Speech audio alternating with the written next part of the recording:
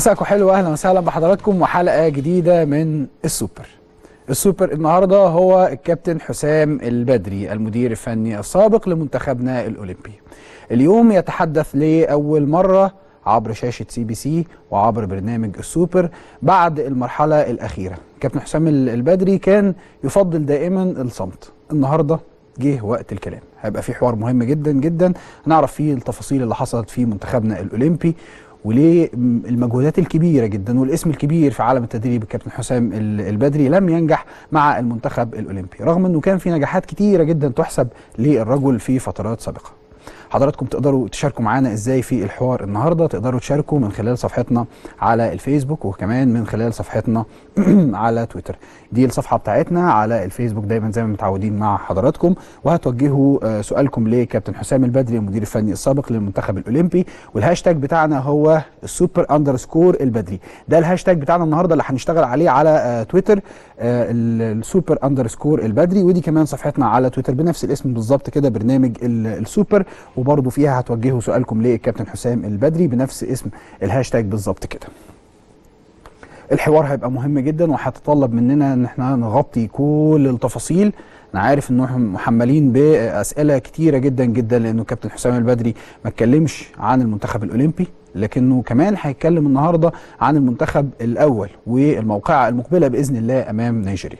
أخبارنا المحلية هنبتديها مع حضراتكم.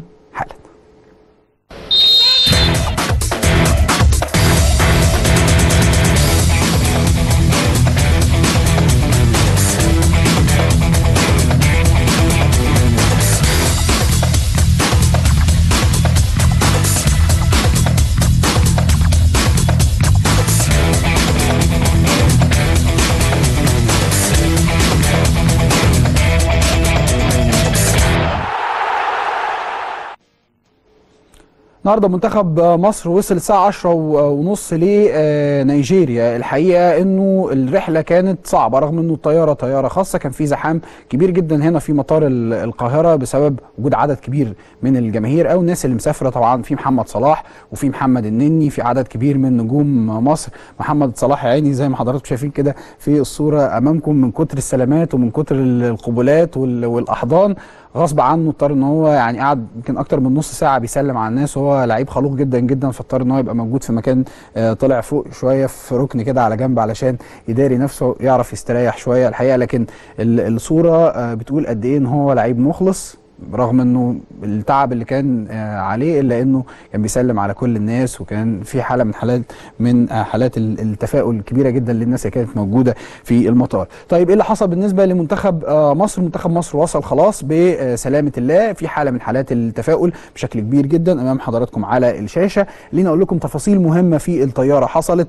الطيارة هي طيارة خاصة وبالتالي في بعثة إعلامية مرافقة لبعثه المنتخب على نفس الطيارة. كابتن عصام الحضري بصفته كابتن الفريق قعد في الفاصل. ما بين البعثة الإعلامية وما بين اللعيبة والجهاز الفني. قال لك أنا موجود هنا في الحتة دي عشان يمنع بس يبقى كل واحد واخد راحته ما يبقاش فيه تداخل من هنا لهنا ما يبقاش فيه نوع من أنواع المرح أو يعني الناس تخرج بره الأجواء بتاعة المنتخب جوه الطيارة. مستر هيكتور كوبر كان أوصى بأنه المران يستمر لمدة 15 دقيقة فقط ده وفقا للائحة. الراجل شايف إنه ده الأفضل من وجهة نظره على اعتبار إنه ما يبقاش فيه أي حد يتلصص يعني أو يتابع التدريبات. ولو إنه في كرة القدم ما عادش في حاجة اسمها حد يتلصص أو ما يتلصصش. أصل ما حدش يقنعني مثلا ان منتخب مصر بقوامه المعروف بالمجموعة باللعيبة بالأسماء دي كلها نيجيريا مش عارفاها. زي ما إحنا ما دلوقتي حالا هنقول لحضراتكم الأسماء المهمة في المنتخب النيجيري مش بس كده. هنجيب لكم التحليل الفني اللي وصل للجهاز الفني لمنتخبنا الوطني واللي قعد آه عليه واللي اتكلم كمان معاه آه واللي اتكلم فيه مع اللعيبة. بكرة الموقف هيبقى عامل إزاي؟ بكرة إن شاء الله بإذن الله الفطار هيبقى الساعة 9 آه صباحا. يبقى في بعديها محاضرة بالفيديو الساعة 2 ونص هتبقى وجبة الغداء والمران هيبقى الساعة 6 وبعد المران هيبقى في اجتماع مع المهندس هاني أبو ريدة عضو مجلس إدارة الاتحاد المصري لكرة القدم وعضو المكتب التنفيذي طبعا.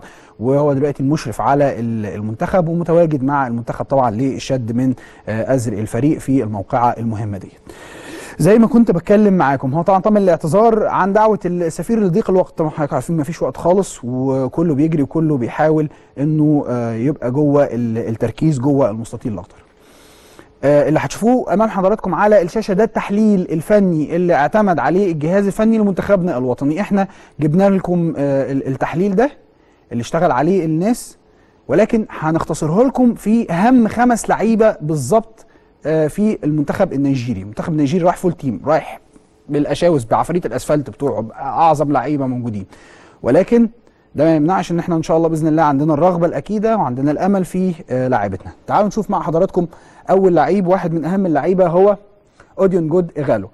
اوديون جود إيغالو بالغ من العمر 26 سنة طوله 188 آه، آه، لاعب ويتفورد الإنجليزي ومركزه هو آه، مركز المهاجم.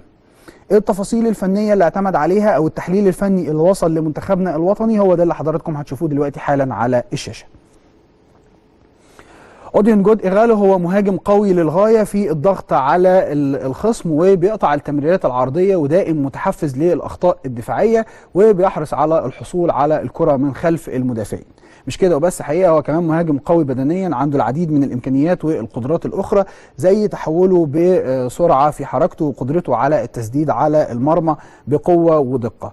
في بعض الأحيان بيكسل شوية نشاطه بيقل داخل الملعب ممكن يبقى معرض لخسارة الكرة بشكل كبير جدا لكنه في النهاية مهاجم آه، جيد في تحركاته وتمريراته وكمان يقدر يكون مصدر إزعاج لأي خصم. آه، هو عنده ميزة في ال- المساحات وبيعرف يستغل سرعته بشكل جيد للغاية. ده التحليل الفني لاوديون جود ايجالو اللي وصل لمنتخبنا الوطني. لعيب رقم اثنين هو لعيب في منتهى الخطورة الحقيقة هو أحمد موسى. أحمد موسى عنده 23 آه، سنة واحد من اللاعبين ال- ال- المهمين جدا 170 سم سيسكا موسكو الروسي بيلعب في المركز المهاجم زي ما هو ظاهر أمام حضراتكم على الشاشة. أحمد موسى عنده آه، مميزات كتيرة جدا. إذا كنا بنتكلم على أدائه إذا كنا بنتكلم على تحركاته هو بيستطيع اللاعب اللاعب على ال- الجناحين ودي ميزة يمكن آه، لاحظها الكل خلال متابعته في المباريات ال- اللي فاتت بيدي الأفضلية دايما لما بيستحوذ الفريق على الكرة آه، بيعرف يعمل لنفسه مساحات بيعرف يخلق لزمايله كمان مساحات في أرض الملعب. آم، عنده الاثنين ضد واحد أو الواحد ضد اثنين آه، مميزة جدا. بارع في التعامل مع سرعته يعني بيعرف يوظف سرعته.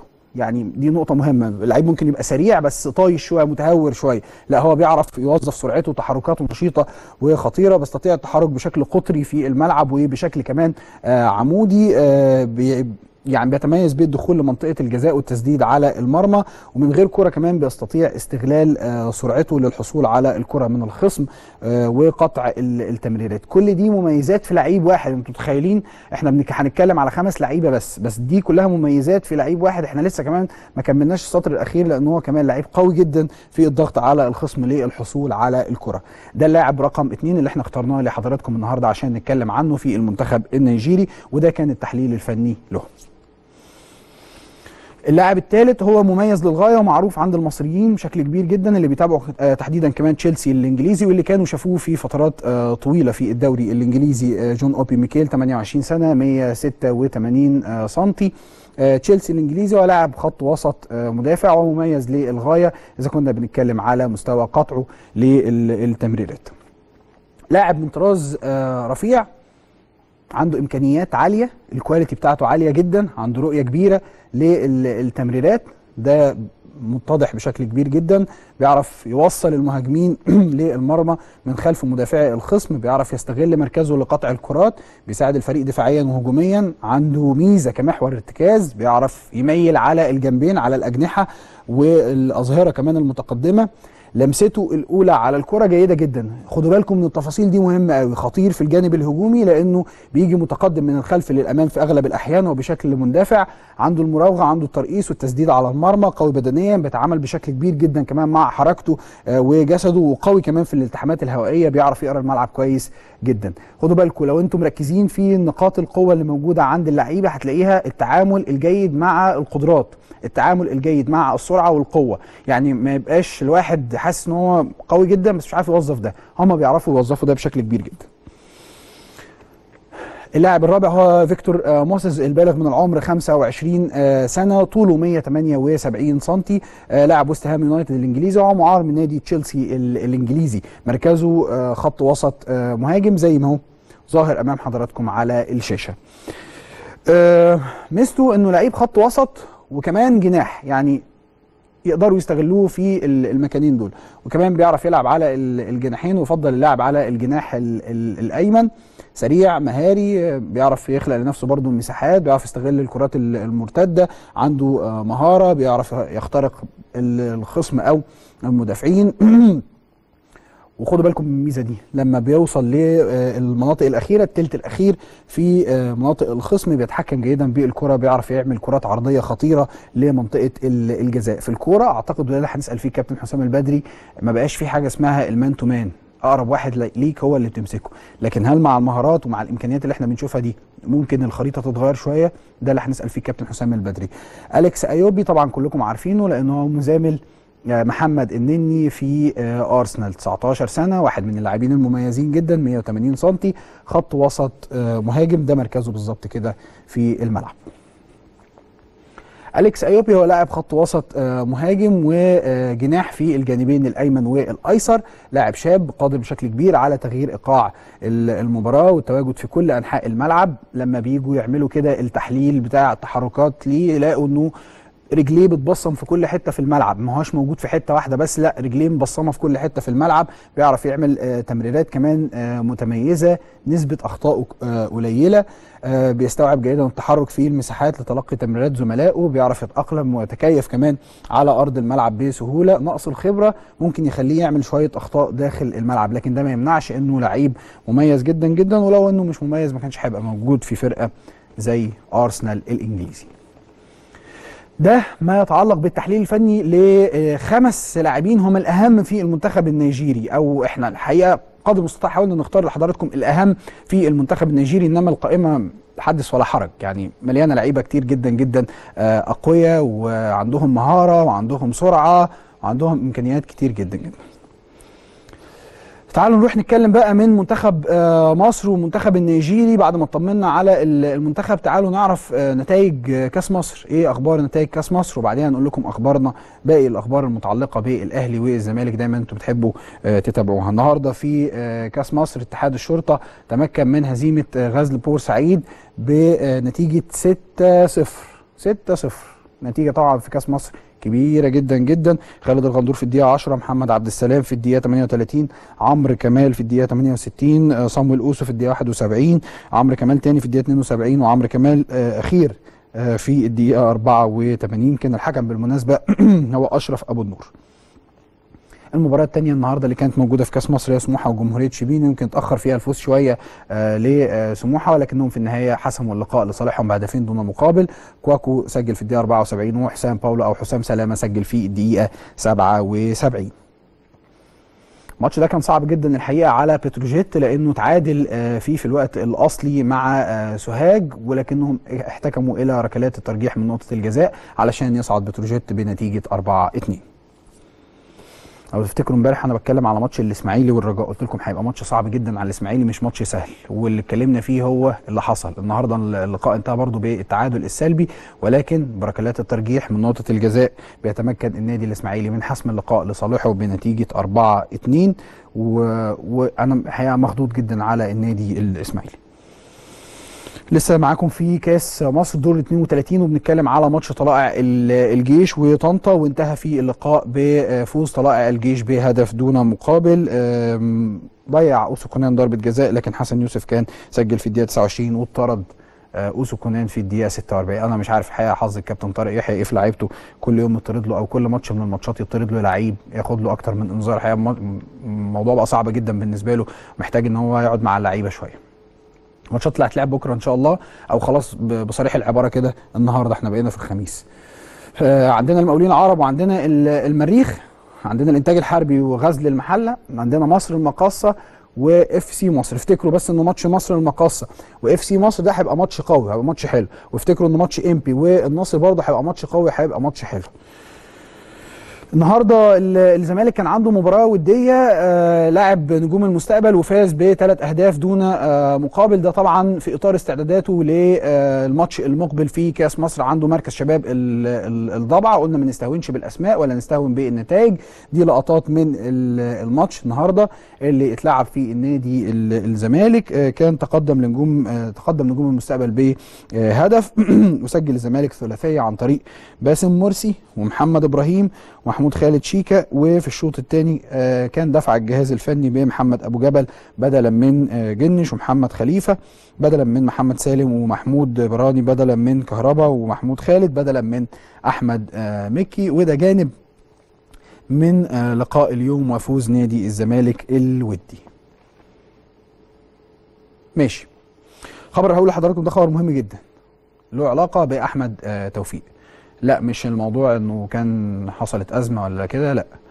الموضوع الحقيقي إنه آه، أحمد توفيق جاي له عرض من بورتو البرتغالي بزيرو بنفسه المدير الفني السابق للنادي الأهلي اتكلم مع أحمد توفيق وطلب منه إنه يبقى موجود. ده خبر مؤكد بنسبة 100% أحمد توفيق عنده عرض من بورتو البرتغالي والراجل المدير الفني اللي كان موجود هنا اتكلم معاه آه، وهو في فترة من الفترات على فكرة وهو موجود في النادي الأهلي كان أبدأ إعجابه بأحمد توفيق آه، وقال الكلام ده للمهندس محمود طاهر رئيس النادي ال- الأهلي وطلب منه الاعتماد عليه أو طلب منه إن هو يعني يبقى موجود معاه في بورتو البرتغالي.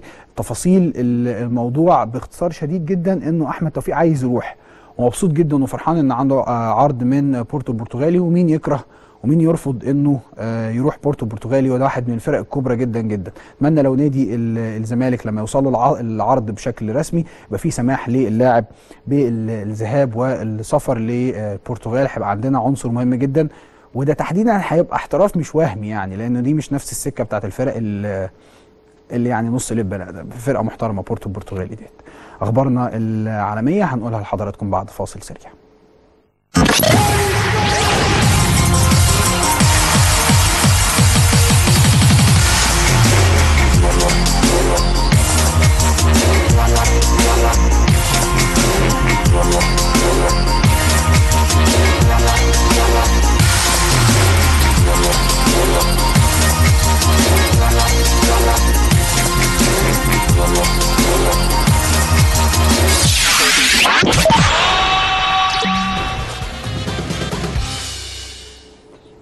إحنا هنا في مصر بنزعل لما بتتنشر الأرقام بتاعة المدربين. أنا الحقيقة شايف إن دي حاجة سخيفة. نشر أرقام المدربين أو نشر أرقام اللعيبة دي حاجة ما حدش يعني ما له دعوة بيها. يعني ده رزق بني ادمين ورزق ناس ما, ما بشوفهاش حاجة لطيفه لكن الحقيقة ان هم في اوروبا ما عندهمش الموضوع ده كله على على الملأ كده. الصحف العالمية النهارده راحت مبشلكة كل المدربين اللي في العالم المدربين طبعا اللي موجودين في أوروبا وراحوا مطلعين قائمه بالأكثر يعني آه دخلا أو الاغلى في يورو 2016 فتلاقوا إنه مدرب إنجلترا روي هودسون هو الاغلى في يورو 2016 المقبل آه على حساب أو متفوقا على آه ديل بوسكي آه وكونتي وديشامب ده اللي خرجوه النهارده. قال لك بقى ال- الأفضل أو الأغلى أو الأعلى اهو أمام حضراتكم على ال- الشاشة. طيب خليني أقول لكم الأرقام أهو بالتفاصيل. أدي أول واحد هو عندنا. روي هودسون 5 مليون يورو.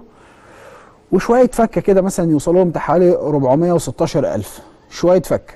ماشي؟ مالكوش دعوة بيهم. بعدين أنطونيو كونتي آه ال- الإيطالي برضو آه 4 مليون و600 وشوية فكة جنبهم مثلا بتاع حوالي 383 آه فاتح تريم ال- التركي 3.5 مليون آه دولار. آه عفوا آه يورو وبرضو 291 بعدين خواكيم لوف تخ- تخيلوا يعني ألمانيا بقى؟ المانيا اللي مكسره الدنيا. يجي الراجل المدير الفني بتاعهم بياخد آه، رقم أربعة. مش رقم واحد مثلا يعني مش رقم واحد ورغم إن هم واخدين مثلا كأس العالم اللي فات بس يعني عادي ما عندهمش مشكلة خالص. آه، رقم خمسة كان ديلبوسكي بياخد 3 مليون آه، يورو و250 بعدين ديدي ديدي ديشامب في آه، فرنسا. ده يا عيني غلبان شوية. 2 مليون آه، يورو و166 وبعدين تباعا بقى تقل الأرقام آه، لحد ما توصل لآخر واحد غلبان. بياخد كام؟ لا ارجعوا لنا تاني. ماشي. انت عندك راجل بتاع روسيا عندك راجل بتاع روسيا بيقول لك for free بتتكلموا بجد؟ والله بيشتغل بالحب يعني؟ متأكدين يعني. طيب. أنا ما شفتهاش بصراحة. بس ماشي هي تمشي. الدنماركي آه، محمد الباتشا بيفوز ببطولة ال- العالم آه، في فيفا 2016 والله اللي اللي يعني مش متابع واللي مش عارف يعرف إن دي واحدة من الألعاب المميزة جدا جدا. أهو قدام حضراتكم دي البطولة اللي كانت بتتلعب وفاز بيها الدنماركي محمد ال- الباتشا أنا هسيب حضراتكم تتفرجوا على اللقطات. خليها خليها بقى full كادر عشان الناس تتفرج عليها أحسن من اللي إحنا هنعلق, عليه المباراة النهائية كانت اقيمت على مباراتين. واحدة على PlayStation 4 و Xbox آه، 1 آم، خليني أقول لكم إنه الباتشا تغلب على البريطاني شون إيلين في المباراة النهائية. أدي إيلين أهو تحت على إيدكم ال- الشمال وناحية اليمين ال- الباتشا آه، عنده 17 آه، سنة. كسب كام بقى؟ 20000 دولار. على فكرة أنت مش بتضيع وقتك خالص. أنت برنس. لما تاخد بطولة زي ديت وتاخد لك 20000 دولار جائزه مالية بالإضافة لدعوة خاصة كمان لحضور حفل البالون دور اللي بيقام في 2017 عشان تسليم جائزه أفضل لاعب في العالم عن عام 2016 خبر من الأخبار الطريفة جدا لكنه من الاخبار الممتعة كمان?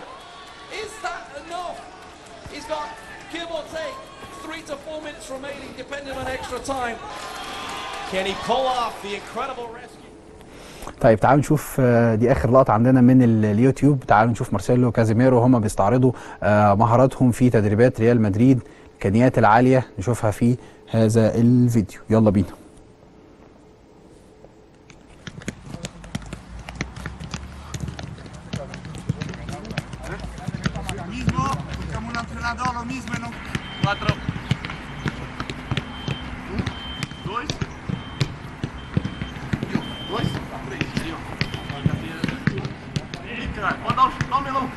Ahora solo con la cabeza. Ah, camina más así. Ah, cabeza, cabeza. Bien, bien, bien. سهلة خالص. سهلة خالص إيه الصعوبه في كده بقالهم تلت ساعة بس الكرة ما بتقعش على ده إحنا هنفضل قاعدين كده لحد الحلقة ما تخلص يا محمد رجعت طيب بعد الفاصل هيبقى مشرفني ومنورني السوبر الكابتن حسام البدري الحوار هيبقى مهم جدا وحضراتكم هتقدروا تشاركوا فيه من خلال صفحتنا على الفيسبوك ومن خلال صفحتنا كمان على آه على تويتر. وهي بنفس الاسم برنامج ال- السوبر. الهاشتاج بتاعنا اللي إحنا بنشتغل عليه أيوه بالظبط هو هو ده كده. ال- السوبر ال- البدري هو ده الهاشتاج اللي إحنا بنشتغل عليه آه على تويتر أو حتى كمان على الفيسبوك. بعد الفاصل كابتن حسام البدري.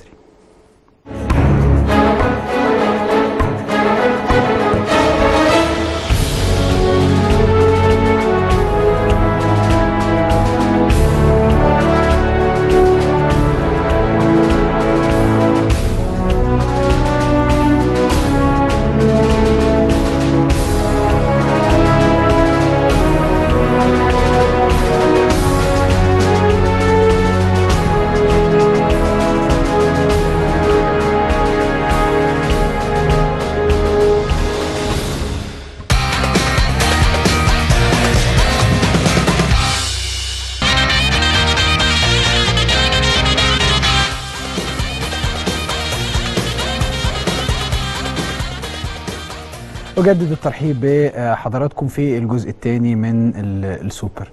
الحقيقة لو هتكلم على مقدمات ففي مقدمات كتير جدا تقال في حق هذا الرجل الكابتن حسام ال- البدري المدير الفني السابق لمنتخبنا الأولمبي ومن قبله طبعا في النادي الأهلي وإمبي وفي السودان.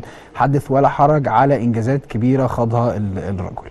كان في تجربة وهي تجربة لم تكن موفقة على الإطلاق هي تجربة المنتخب الأولمبي. هنتكلم فيها وهنتكلم في تفاصيل كتيرة جدا جدا في السوبر النهاردة لأنه مشرفنا ومنورنا سوبر. كابتن حسام البدري. كابتن حسام أهلا وسهلا بحضرتك مشرفنا ومنورنا. أهلا بيك يا إبراهيم ومبروك وبالتوفيق دايما وإضافة جديدة ليك وحاجة سوبر فعلا يعني. ربنا يخليك يا رب. إن شاء. الله. أنا سعيد جدا إن حضرتك قبلت ال- الدعوة وسعيد جدا إن حضرتك مشرفنا ومنورنا. لا أنا النهاردة. بشرف اني كنت دايما معاك يا إبراهيم والله. ربنا يخليك يا رب. السوبر الكابتن حسام البدري.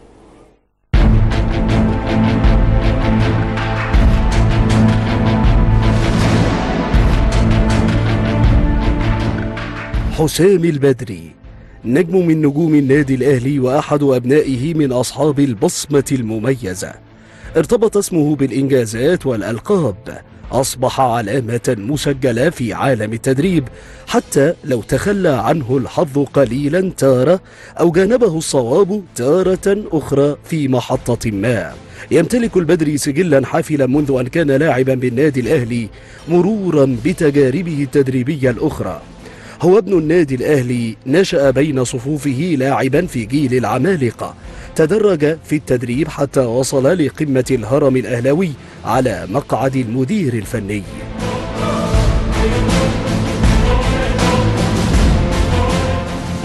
أطلق عليه البعض لقب الجزار لما يتمتع بالمزج بين القوة في الشخصية المطلوبة للسيطرة على نجوم الكرة والمرونة الصحية في التعامل مع اللاعبين على قدر من الاحترام والحب المتبادل.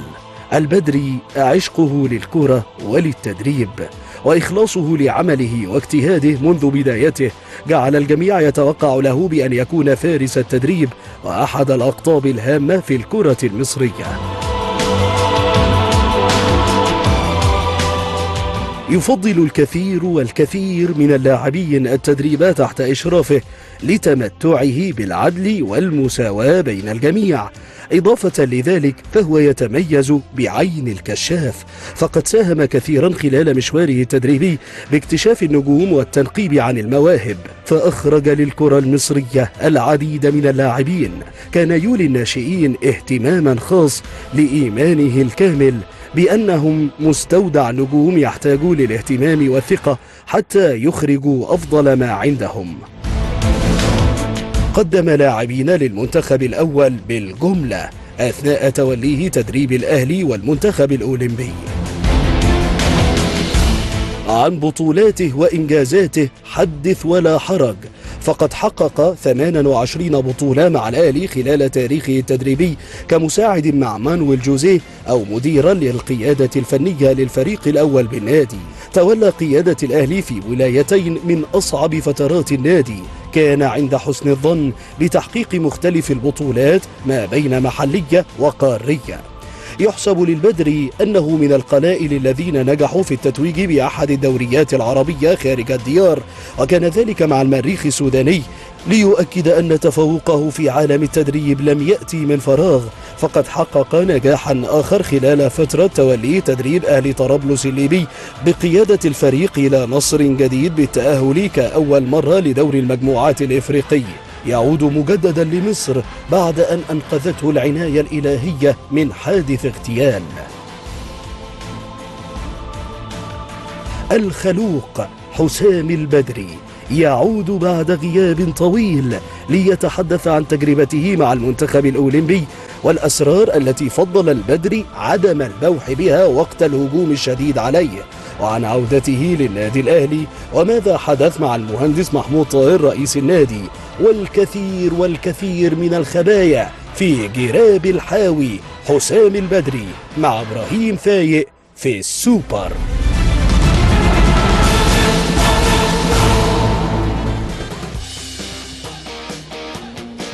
لقب الجزار ده طلع من بسبب إيه يا كابتن؟ آه، الأول طبعا أنا بشكر ال- ال- المعد على الفقرة اللي فاتت دي كلها ذكريات طبعا جميلة ويمكن لقب الجزار أثناء م- مباراة المغرب وتقييم آه، آه، فونتين مدرب المغرب في الوقت ده كان فرنساوي مغربي كنا بنلعب في المغرب وكان الأستاذ محمود معروف بياخد رأيه في المباراة فبيتكلم على أفضل ناس في منتخب مصر وكده فأشاد بيا وقال له حتى لأن كان وقتها عزيز بودرباله السحيتي دول من أفضل لعيبة محترفين. في المغرب ووقتها حتى كان السحيتي الجمهور بيطلب إن هو يلعب نزله ربع ساعة وراح مطلعه تاني فأطلق عليا لقب جزار قال له يعني آه، بيلعب آه، طف. آه طف وقوي جدا آه فأطلق عليا لقب الجزار هو كان مدرب المغرب آه. وما زلت حتى بتتمتع حتى الآن بنفس الشخصية بالقوة بتاعتها مش قوي مش جزار قوي يعني مش جزار قوي. ساعات مش جزار يعني كابتن حسام ليه فضلت الفترة الطويلة دي إنك ما تتكلمش خالص في الإعلام وتبتعد عنه تماما بعد الإخفاق مع المنتخب الأولمبي؟ أكيد يعني آه، آه، تجربة المنتخب الأولمبي آه، ما توفقناش فيها ومن الطبيعي إن يتم طبعا نقد ويتم كلام كتير وفي نفس الوقت بيبقى في حرية للجميع إن هو يتكلم. وفي نفس الوقت أنا بسمع بشوف فضلت إن أنا آخد قرار إن أنا مش هرد في ال في, ال في توقيت معين أو في فترة زمنية معينة آه، مش هرد خالص وهبعد فترة. وبعدين آه، في نفس الوقت آه، هيبقى في في تقرير اللي أنا اتكلمت فيه ويمكن هنوضح تاني. بعض النقاط والخطوط العريضة المهمة جدا اللي كان لابد الجميع يعرفها المسؤولين وال- والإعلاميين والإخوة الإعلاميين والجماهير. ويمكن دي سردتها في التقرير اللي أنا قدمته. ويمكن لو كلمتني دلوقتي هتكلم معاك على خطوط عريضة. مهمة جدا لكن في آه، آه، جواها في محتوى كتير جدا وفي آه، نقط مهمة جدا. آه، كنت أنا يمكن آه، آه، في البداية آه، بحذر إن هي هتحصل وبحذر آه، إن ممكن آه، آه، تبقى سلبية ضدنا لكن الظروف آه، مش أفراد. الظروف كانت هي اللي حتمت وفي بعض الأوقات آه، آه، آه، تزامن آه، مراحل آه، خاصة بالمنتخب الأول مع المنتخب الأولمبي مع قدوم مدرب آه، أجنبي جديد آه، آه، لسه بيكون هيكل.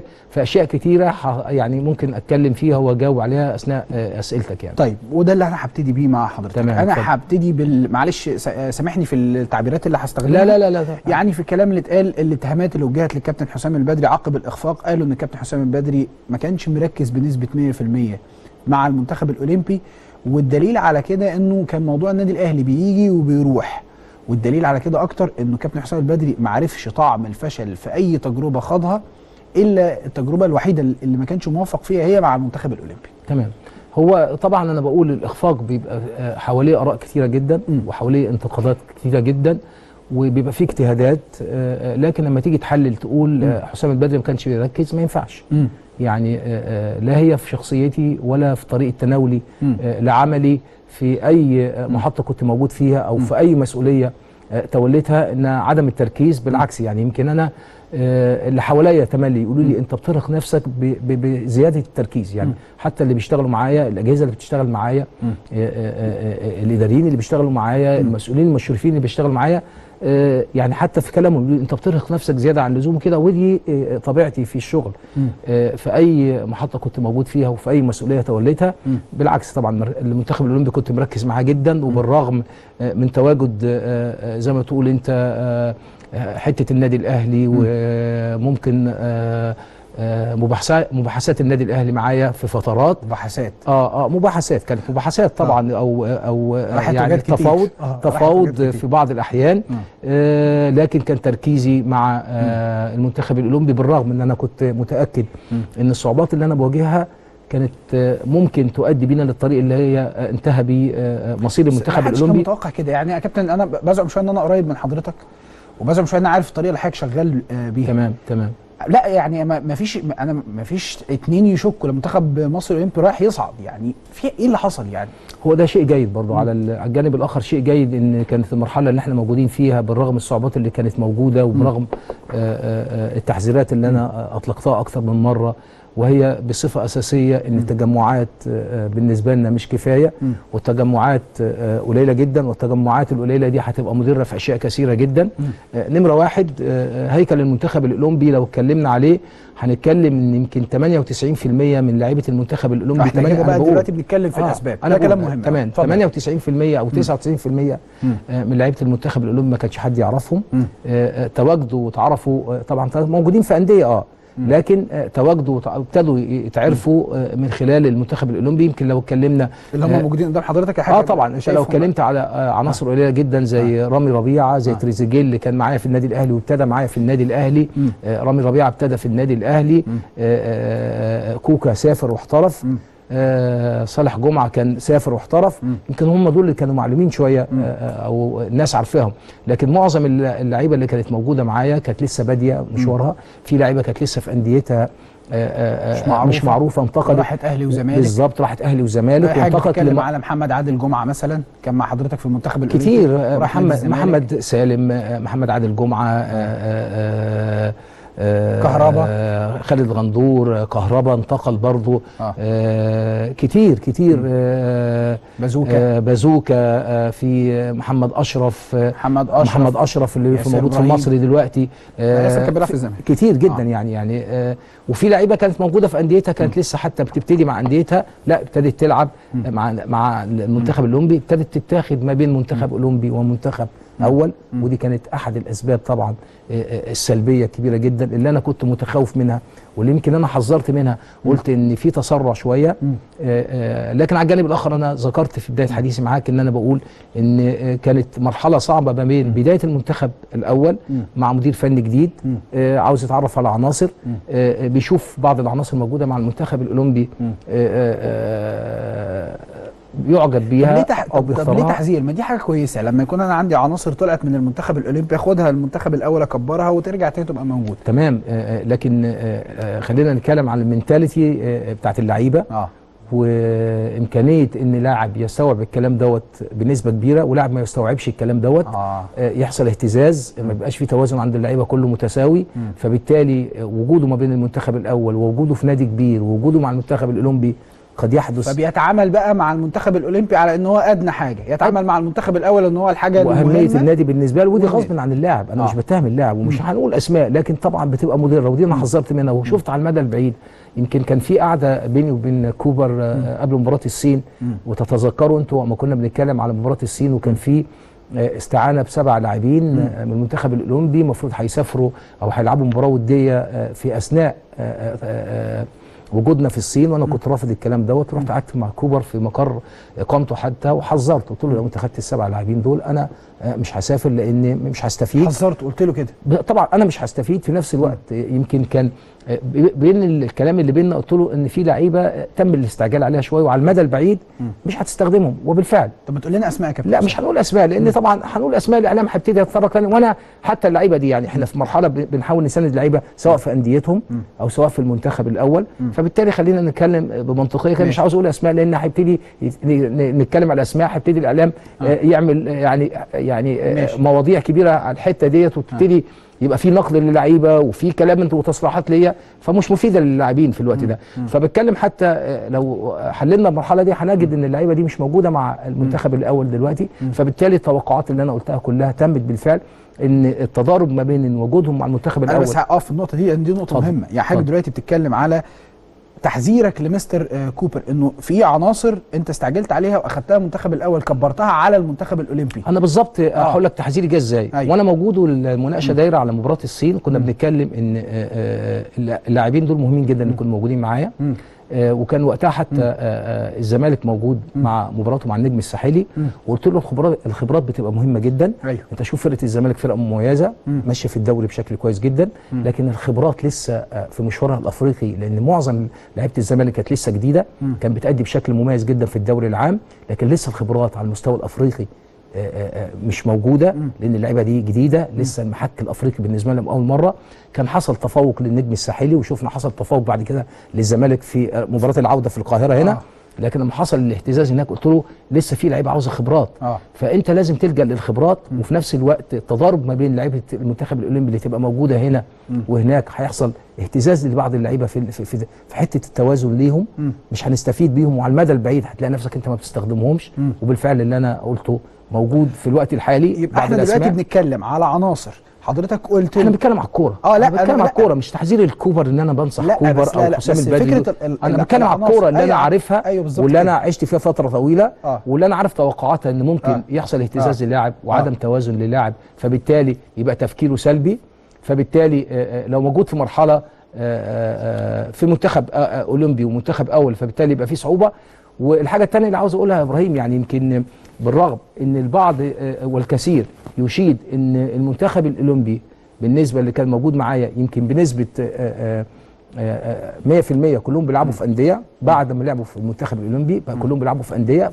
معظمهم موجود في أندية الدوري الممتاز. ولكن آه، دي برضه سلبية لأن إيه آه، آه، ممكن الاستفادة تبقى جيدة.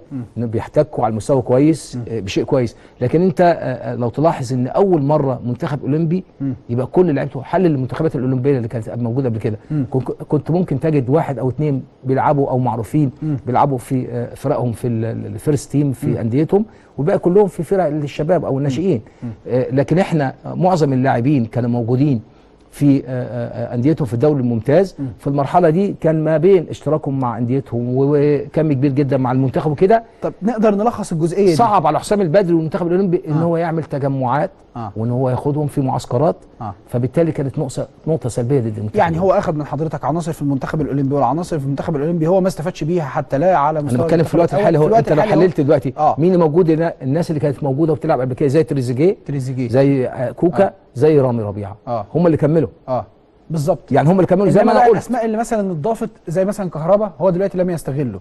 الأسماء اللي اتضافت زي محمد سالم لم يستغله. الأسماء اللي اتضافت أعتقد كريم ممدوح برضو راح. آه كريم ممدوح كريم ممدوح راح. آه، لم محمد يستغله. سالم راح. محمد آه، سالم لم رجب يستغله. نبيل راح. محمد رجب أشرف نبيل لم يستغله محمد أشرف لم يستغله طيب يبقى إحنا بنتكلم على نقاط حقيقية دلوقتي يعني نعم. بنتكلم على ن- نقاط الناس تقدر تفهمها وتستوعبها إنه الاستراتيجية نفسها بتاعت المنتخب الأول كان المفروض إنه آه، إذا كان هيعتمد على اللعيبة بتاعت المنتخب الأولمبي فكنا المفروض نشوف نتاجهم دلوقتي موجودين مع المنتخب الأول فحضرتك بتتكلم في إن هم دلوقتي مش موجودين مع المنتخب الأول ولا. اعتماد بس هو العذر- على كتيبة الخبرات اللي ال- موجودة العذر اللي أنا بقوله طبعا. العذر اللي أنا بقوله إن هو كان لسه جاي. آه، آه، بيكون هيكل. آه، بيشوف لعيبة آه، آه، آه، بيعجب بيها مم. هو قال لي يعني قال لي أنا معظم اللعيبة اللي أنا بشوفها مميزة مم. بسأل ألاقيها في المنتخب الأولمبي فبالتالي كان لازم ياخدهم. لكن أنا كنت شايف شايف الرؤية اللي قدام. يعني ده هيبقى ضرر بالنسبة لي. ضرر للمنتخب الأولمبي ضرر لتجمعاتنا وفي نفس الوقت للتوازن عند اللاعبين. فيعني كان آه، سوء توفيق لكن هو طبعا مش مقصود منه. أو أنا بتهم كوبر لا أنا ما بتهمش كوبر لكن بعذره في الحتة دي لكن أنا بقول لك إيه الأسباب. اللي حوالين المنتخب الأولمبي طيب هو كان تقبله إزاي للنقاش ده أو تقبله إزاي لا هو؟ تقبل ووصلنا لحل إن هو يديني لاعبين يعني آه، آه، وصلنا لحل إن هو وافق إن هو يديني آه، بعض اللاعبين. مش كل اللاعبين كان سبعة وقتها إن أنا آخد بعض اللاعبين. آه، آه، آه، آه، استوعب يعني برضه هو شاف الكلام دوت وبعد كده وجدنا زي ما اتكلمت مثلا على عنصر زي عبد الله السعيد أهمية عبد الله السعيد في المنتخب. وإزاي عبد الله السعيد يبقى موجود؟ يعني حتى الكلام ده ضرب فيه. الكلام ده ضرب بيني وبينه. والله. دلوقتي آه. عبد الله السعيد موجود. معظم هيكل المنتخب الأولمبي زي ما أنا قلت الكلام ده في المناقشة بقى أهلي وزمالك الخبرات. اللي هي بتعرف تلعب في أفريقيا الخبرات اللي هي بتستحمل ضغط فبالتالي آه، هو دلوقتي الهيكل عنده موجود بشكل كويس أفضل كتير. آه، آه، آه، وصل للأفضل دلوقتي إن هو فعلا هي دي أفضل مجموعة موجودة وإن شاء الله بإذن الله يبقى موفق في آه، نيجيريا اللي هي خطوة كبيرة بالنسبة لنا لأن هو ده الهيكل اللي أنا شايفه اللي, كان يعني المفروض يتعمل من بدري هو اللي وصل له دلوقتي ده هو أفضل هيكل موجود بالنسبة ده. خسر حضرتك بنسبة قد إيه؟ بنسبة كبيرة. آه. يعني آه، خسرنا بنسبة كبيرة لأن آه، زي ما بقول مش عارف تقعد في تجمعات مش عارف التجمعات ماتشات أنا أنا وأنا رايح السنغال أنا لعيبتي آه، بتتجمع قبل أما نروح السنغال ب 48 ساعة. مم. كان لسه في ارتباطات بالنسبة آه، آه، للأندية كان في لسه مباريات. فبالتالي برضو اتكلمت على التجمعات ما كانتش كافية. آه، آه، في بعض المباريات أنا لعبتها كتير وديه ما كانش موجودين معايا اللاعبين كانوا موجودين مع المنتخب الأول. آه، فهي دي النقاط أنا بتكلم. أنا مش بتهم حد لكن أنا بتكلم على الصعوبات اللي واجهت المنتخب الأولمبي واللي أنا كنت متوقعها وحدثت يعني. طيب أنا هسال حضرتك سؤال كده يعني إيه بالبلدي؟ اتفضل. كابتن حسام البدري أنا يعني عارف ان حضرتك منظم جدا في كل تفاصيلك الفنية وحتى كمان تفاصيلك في ال- التقارير. الناس اتصدمت لما شافت إنه التقرير اللي حضرتك عملته مكون من صفحتين فقط. كانوا متخيلين إنه هيبقى فيه ملف كبير جدا الكابتن حسام البدري هيتكلم فيه عن كل شق وك- وكل جزء آه، حصل في ال- الملف حضرتك بتبتسم ليه لا أنا آه. اتكلمت في خطوط عريضة لكن آه. الخطوط العريضة اللي أنا اتكلمت فيها في محتواها أشياء كتير جدا يعني مثلا تعال يعني- ناخد آخد مع حضرتك ال- ال- الرقم واحد حضرتك. قلت من اليوم الأول لتكوين المنتخب آه، في صعوبات كبيرة ومتعددة واجهت الفريق وخاصة في المرحلة الأخيرة والمهمة اللي تمثلت في عدم إقامة تجمعات ومعسكرات رغم إلحاحي مرارا وتكرارا بضرورة زيادة فترات التجمعات والمعسكرات مما أثر على النواحي الفنية والانسجام والتأقلم. تمام. ولم وهو ما لم يتحقق وكان الرد في كل مرة بالرغبة في استكمال مسابقة الدوري الممتاز وانتظامها وتسبب ذلك في صعوبة إقامة مباريات ودية كثيرة آه وقوية بعيدا آه آه، يتم عن طريقها تقييم اللاعبين والحكم عليهم بشكل سليم وواقعي في ال- ال- المنتخب. تمام. يعني نشعر إنه كلام عام مش مفصل بس مح... ليه؟ آه ما يعني المحتوى بتاعه آه. بيشمل كل حاجة مم. التجمعات اللي أنا بقول عليها. آه، آه، في مجموعة محتاجة شغل إنها موجودة مع المنتخب الأولمبي مم. لكن ما بتلعبش مع أنديتها موجودة آه في فرق. آه، first team في أنديتها لكن ما بتلعبش بشكل مستمر بتلعب على فترات مم. آه، في مجموعة آه، بتبقى موجودة بت- بتلعب مع أنديتها وبتلعب مع المنتخب الأولمبي أوقات وبتروح المنتخب الأول. فبالتالي التجمعات برضو كانت هتبعد اللعيبة دي على ال ال الاحتكاكات كلها ديت مع النادي ومع المنتخب الأولمبي ومع المنتخب الأول سواء الإرهاق أو سواء الت- التشتيت أو سواء التوازن آه، والمنتاليتي بتاعتك إن أنت تبقى مهتم بال- بالمكان اللي أنت موجود وعارف إن في هدف أنت بتشتغل له اللي هو شهر 11 أو شهر 12 رايحين نلعب التصفيات النهائية. لكن التشتيت ما بين وجودك في دوري عام ودوري عام آه. ونفس الدوري عام وبعدين تروح لمنتخب أول وبعدين تيجي في ما تشتيت ده يا كابتن برضه حال المنتخب الأولمبي طول الوقت لا آه. أنا بقول لك أنا قلت لك كلمة من شوية آه. قلت لك آه، آه، حال قوام المنتخب الأولمبي بتاع آه، آه، منتخب مصر اللي موجود. أنا كنت على آه. قيادته. هتجد إن أول مرة يتواجد النسبة دي كلها تبقى موجودة. في الموجودة في المنتخب الأول. موجودة مع لا مع المنتخب الأول ومع الفرقه آه. first team. آه. آه، في منتخبات تانية كانت تبقى كان كام لعيب مثلا؟ كام يا كابتن حسام كام؟ لعيب؟ كام لعيب مثلا اتاخد من حضرتك للمنتخب الأول؟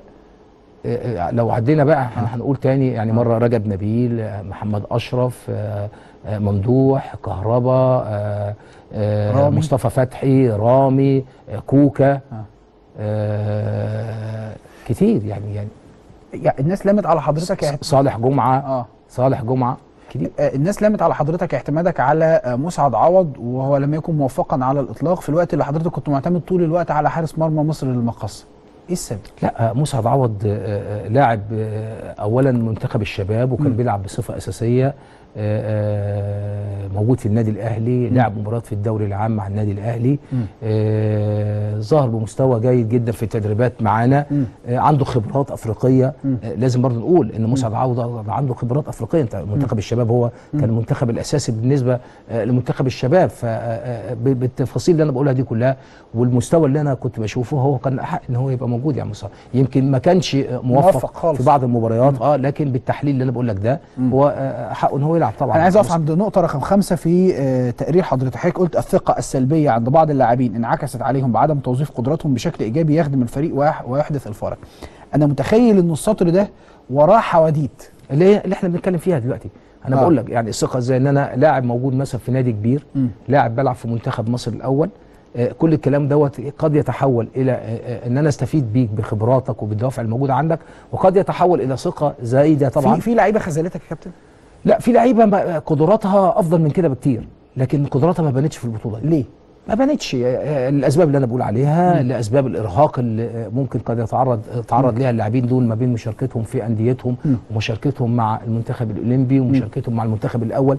فبالتالي ورحت أنت لعبت مباراة آه، آه، كل آه، 48 ساعة بتلعب ثلاث مباريات لعبت في كل 48 ساعة بتلعب مباراة مم. فنتيجه اللي أنا بقوله دوت وجودهم مع أنديتهم وجودهم مع. آه، آه، المنتخب الأول وجودهم معايا في إرهاق وفي نفس الوقت في تشتيت مم. في الدوافع مم. عكس ما كنت تبقى موجود لفترة طويلة لهدف واحد وهو التأهل للأولمبياد مم. فبالتالي بيبقى فيه تركيز أكبر بالتالي بتبقى الدوافع أفضل بالتالي ما أنت ما بيحصلكش تشتيت آه، آه، كلاعب يعني اتقال في الفترة اللي قبل ما حضرتك هتسافر فيها على طول للاولمبياد إنه في لعيبة بتسهر. صالح جمعة مرة رمضان صبحي مرة خرجوا من المعسكر مرة قعدوا في مش عارف في المكان الفلاني ده فلان الفلاني صورهم طلعوا في الموقع الفلاني. كل الكلام دوت آه، آه، اتقال وكل الكلام دوت آه، طبعا بعيد عن الحقيقة ما حصلش الكلام دوت. واللي حتى كنت بقول أنا اللي صورهم يجيب لي الصور أو يجيب لي ما في حاجة حصلت كان كلها اجتهادات. وكانت أنت عارف يعني بيبقى في سبوت على فرقة أو حاجة بيبقى حواليها بعض الإثارة أو كده فكان كل- كلها أخبار يعني آه، ما تزعلش بسبب مني. برضه في اللي أنا هقوله. اتفضل. لا قالوا. الكابتن حسام البدري غادر الم... غادر معسكر منتخب مصر أكتر من مرة ما كانش بيبقى موجود فيه فبالتالي كان في بعض اللعيبة بتتسرب. غ... أنا غادرت منتخب خالص. آه. لا خالص. مش بتسيب المعسكر لا خالص خالص؟ آه, آه. مش صحيح. لا خالص. طيب ال- النقطة بس اللي أنا عايز أتكلم فيها دي دي الأبعاد اللي حضرتك شرحتها ودي أبعاد مهمة قوي طب إحنا سافرنا هناك. إيه اللي يعني أنا حصل؟ في السنغال سبت المعسكر ورحت فين يعني؟ لا لا مش في السنغال. لا ده هم بيقولوا قبل ما كان قبل إيه؟ إيه، قبل. قبل ما قبل ما تسافر ما ينفعش الكلام ده. عايز أسألك سؤال كده قبل ما أروح للغسالات بتشعر إنك مضطهد اعلاميا؟ لا آه، آه، أكيد يمكن أنا أنا من من من نوعية الناس اللي ما بعرفش أعمل لي يعني لوبي إعلامي أو يمكن آه، علاقاتي محدودة شوية. علاقاتي جيدة جدا بالناس آه، آه، تقديري بيبقى من خلال آه، حكمي على بعض الناس بحب أتعامل معاهم. يمكن البعض الآخر بتعامل معاه طبعا وبحترم الناس كلها بحترم الإخوة الاعلاميين لكن طبعا بيبقى عندي تصنيف للناس. آه، في ناس ممكن أبقى قريب جدا منهم آه، أتكلم معاهم أحترم رأيهم في نفس الوقت أحترم دعواتهم.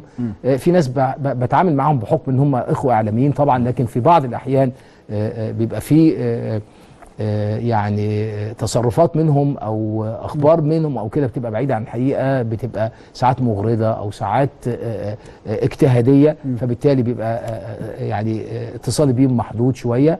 لكن أنا بحترم الإخوة العالمين كلهم ويمكن في فترة من الف- الفترات كان يعني بيطلق عليا إن أنا يعني يعني حبيب الإعلاميين وكده وفترة زي أنت بتقول. لكن أنا طبعا أنا يعني يمكن ما بعرفش أعمل لي لوبي إعلامي يعني. هي دي المشكلة يعني.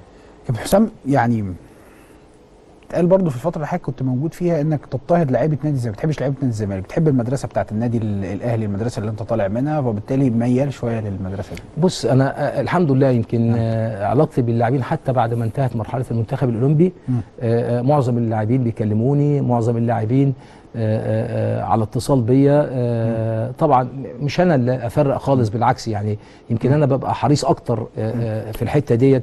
ما بقاش ضد لعيبة النادي الأهلي لكن ببقى حريص أكتر إن أنا قريب من اللعيبة الثانية بحسسهم طبعا إن أنا آه، آه، علاقتي آه، لا فيها أهلي ولا فيها زمالك فيها مدرب منتخب مصر اهتمامي بيهم آه، قربي منهم. ويمكن ت... يعني ممكن تسأل لعيبة المنتخب الأولمبي علاقتي بيهم مميزة جدا جدا كلهم يعني. فدي بعض برضو ال- الآراء الإعلامية للبعض اللي كانت بتتقال إن أنا آه، قريب من لعيبة النادي الأهلي شوية والكلام ده طبعا ده غير صحيح خالص يعني. كنت مخوف ليه اتحاد الكورة منك. مني أنا؟ لا ابدا. بالعكس أنا يتعاملوا معاك. ما عرفوش يتعاملوا معايا؟ لا. لا. أنا كنت محترم طبعا جدا علاقتي بأعضاء مجلس الإدارة لكن أنا آه، كنت منظم العلاقة بيني وبينهم. منظم العلاقة من خلال إن في مشرف آه، معايا آه، إداري. حمادة. معايا إداري آه، كان معايا الكابتن حمادة المصري معايا كابتن أيمن حافظ. آه، كل طلباتي آه، آه، آه، لما بتتطلب إن أنا آه، أتعامل معاهم آه، أو أبقى موجود آه، آه، للتعامل معاهم كنت ببقى موجود لكن آه، يعني بصورة يعني محدودة جدا.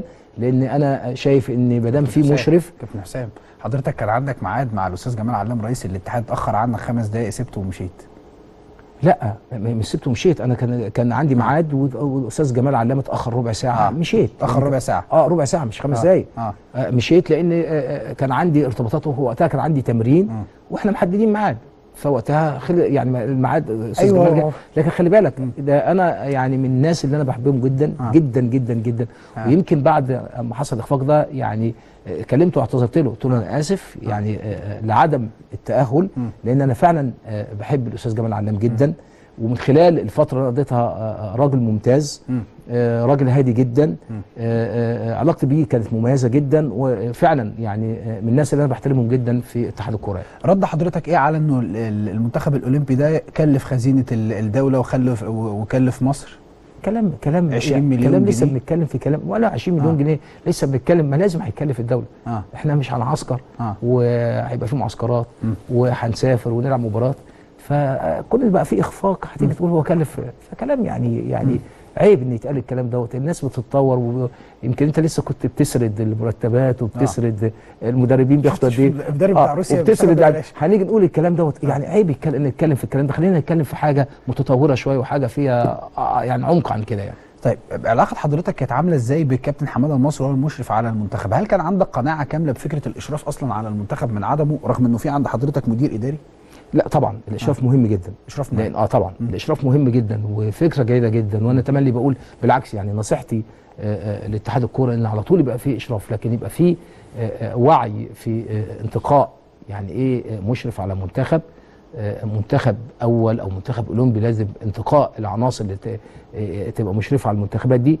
المشرف بيساعد بشكل كبير جدا في سرعة الإجراءات في آه، آه، آه، المناقشة في وجهات النظر في نفس الوقت التخطيط آه، وعرض الكلام ده كله على اتحاد الكورة آه، عكس ما يكون في قاعدة مع كذا فرد فبالتالي بيحصل اختلاف في وجهات النظر بيحصل آه، تدخلات بيحصل آه، آه، تعطيل لل- لل- لل- للإجراءات بالعكس الإشراف آه، وكانت علاقتي مميزة جدا بالكابتن حماده المصري وفعلا هو قام بدور مميز جدا معانا لكن ما كانش فيه توفيق يعني.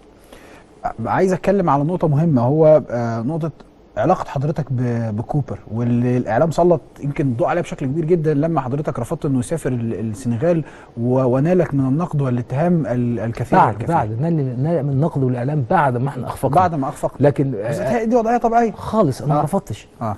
ما رفضتش؟ أنا ما رفضتش إن كوبر يسافر. آه. لكن أنا قلت آه آه آه آه. سفر كوبر قد يحط ضغط على لعيبة المنتخب الأول. آه. لكن لو هو عاوز يسافر يسافر وكانت حتى وجهة النظر معروضة هيسافر هيقعد في مكان إقامة آه آه مش موجود معانا أو هيقعد في فندق آه. فيجي فالناس حضرتك حددت له شروط أهو لا ما حددتش آه. أنا قلت هو ده منطق وهو بالطبيعي إن هو كان لما يجي هيقعد معانا مش. هيقعد معانا. تمام ليه كابتن؟ ليه؟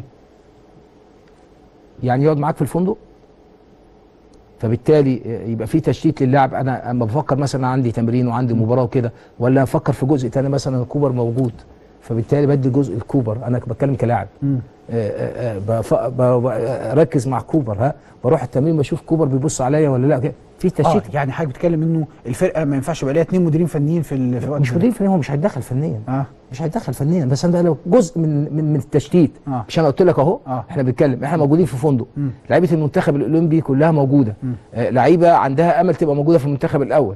لعيبة بتشارك في المنتخب الأول. آه آه، المدير الفني آه آه، موجود للمنتخب الأول مش في تفكير في الجزء ده مم. التفكير ده آه، إحنا عاوزين يعني نخليه بنسبة 100% مش الهدف اللي إحنا رايحين له مم. طب ليه ناخد جزء منه تمام لحاجة تانية فاهمني؟ أنا بتكلم فيها كده يعني آه. آه. بسهولة لكن ولا رفضت ولا أنا بتكلم كده آه، آه، ليه نشتت اللعيبة في جزء مم. يعني أنا شرحتها لك ببساطة أهو يعني وجوده آه، فلاعب عاوز طبعا يبقى ينال إعجاب كوبر عشان يبقى موجود. لاعب موجود مع المنتخب الأول يبقى في آه، آه، تأكيد على إمكانياته. فممكن تتحول لناحية فردية في المباريات كده. وجوده في المعسكر ممكن برضه يشتت يعني. بس هي ببساطة كده يعني. مش أكتر من كده يعني. و... و... و... والعلاقة من قبل لا؟ لا لا أنا بت... الراجل عنده سي في قوي جدا. الراجل آه، آه، مدرب كبير تمام. آه، علاقتي بيه علاقة محدودة كانت في حدود ال- الظروف اللي كانت بتستدعي إن إحنا نتقابل مع بعض ونتكلم مع بعض. وأنا ما اتقابلت معاه اتكلمت بمنتهى الصراحة. يعني حتى الكلام أنا بقوله لك ده مغزاه كبير جدا إن أنا أتكلم مع مد- ال- ال- المدير الفني للمنتخب الأول وأقول له أنت ليه ما بتاخدش كذا وليه ما بتعملش كده لو أنا يعني علاقتي مش جيدة ولو أنا إنسان مش كويس مش هقول الكلام ده. أيوه فبالتالي تطرح أنا, أسماء كلامي يعني ده يعتمد على أنت عبد الله كلامي ده ما تحلله على طول. تعرف إن آه. العلاقة جيدة. آه. والدليل على كده إيه؟ إن أنا بتكلم في كلام لمصلحة المنتخب الأول من وجهة نظري. مم. فبالتالي ده أكبر دليل إن علاقتي جيدة براجل. عكس أنت لو علاقتك مش جيدة براجل أنا هقول الكلام ده ليه. هتكلم ليه إن أنت آه، لازم تعتمد على اللعيبه الخبرات وواحد زي عبد الله السعيد يبقى أكيد العلاقة بيني وبين كوبر علاقة مميزة. كون إن أنا آه، يبقى ده أسلوبي معاه. وهي دي طبيعتي مش مع كوبر بس بس. يعني هو ده أسلوبي مع كوبر ومع أي حد إن أنا هتكلم بالأسلوب ده فبالتالي ده أكبر دليل ان علاقتي بيه في حدود الوقت والزمن اللي كان موجود بيننا إن هي علاقة جيدة طيب هتكلم هرجع للنقطة دي بس وإحنا. وأنا بتكلم مع حضرتك أنا فاكر إنه في محطتين مهمتين جدا بالنسبة بالنسبة للكابتن حسام البدري مع منتخب مصر الأولمبي. المرحلة الأولى لما حضرتك توليت المنتخب الأولمبي وتولى كابتن شوقي غريب آه، مهمة المدير الفني الأول. للمنتخب ال- الأول. بما فيها من ملابسات يعلمها القاسي والداني ومن بعدها الكابتن حسام البدري كان ينظر إلى إنه دوره أن يكون موجودا ومديرا فنيا للمنتخب ال- الأول. ده أثر على حضرتك في التعامل؟ خالص. خالص. وبعرف أفصل في الحاجات دي مم. و أنا يعني يا إبراهيم أنا خبرتي كبيرة أنا عارف يعني آه، مشواري مم. آه، كله أنت لو شفته يعني ابتدى خبرتي كبيرة جدا مم. والضغوط اللي أنا اشتغلت فيها كبيرة جدا جدا مم. جدا آه، وجودي مع النادي الأهلي لفترة طويلة جدا مم. آه، آه، أنا لو تشوف آه، آه، يعني ال 28 بطولة دي مفيش مدرب حققها يعني مم. يعني فلك أن تتخيل أنا مش بقول على 28 أنا مش بعمل دعاية لل 28 بطولة أنا بتكلم الخبرات اللي أنت تكتسبها في 28 بطولة في ضغط ومباريات وتنوع على المستوى العالي اللي هو كان النادي الأهلي وغير النادي الأهلي حتى وجودي في السودان أو وجودي في آه، ليبيا. السودان الناس بتحبك قوي. آه، أنا بقول وجودي في السودان مع برضه مع أكبر فرقة آه، زي المريخ والهلال زي ما أنت عارف زي أهلي وزمالك. وجودي مع أهلي طرابلس أكبر فرقة. والضغوط اللي أنا اشتغلت فيها كلها سواء في مصر سواء في ليبيا سواء في السودان سواء مع النادي الأهلي المشوار الطويل ده كله والبطولات دي كلها بما فيها من تنوع وضغوط وفي نفس الوقت في أوقات كنت مسؤول على العمل الإداري ومسؤول على العمل الفني تمام؟ في كل كده فأنا خبرتي كبيرة جدا. فبالتالي اللي أنا بقوله لك دوت يعني بيبقى في شيء من التوازن في قراراتي وفي آه، تصرفاتي. في, في شيء من مش. مش شيء. بس ده- بس ده مؤكد إحنا, يعني. إحنا في النهاية بشر وأنا لما أحس إنه يعني دي فرصتي أو أنا أنا عملت بقى خلاص يعني أنا طول الفترة اللي فاتت دي عملت كتير بقى. تمام. فأنا عايز بقى ده. هل هل ده السؤال اللي أنا هطرحه لحضرتك تشعر إنه اتفضل. حقك تم اغتصابه في إنك تبقى المدير الفني لمنتخب مصر بعد الكابتن شوقي غريب لا هي وجهات نظر آه آه، آه، آه، من وجهة نظري إن أنا كنت مؤهل وقتها للمنتخب الأول.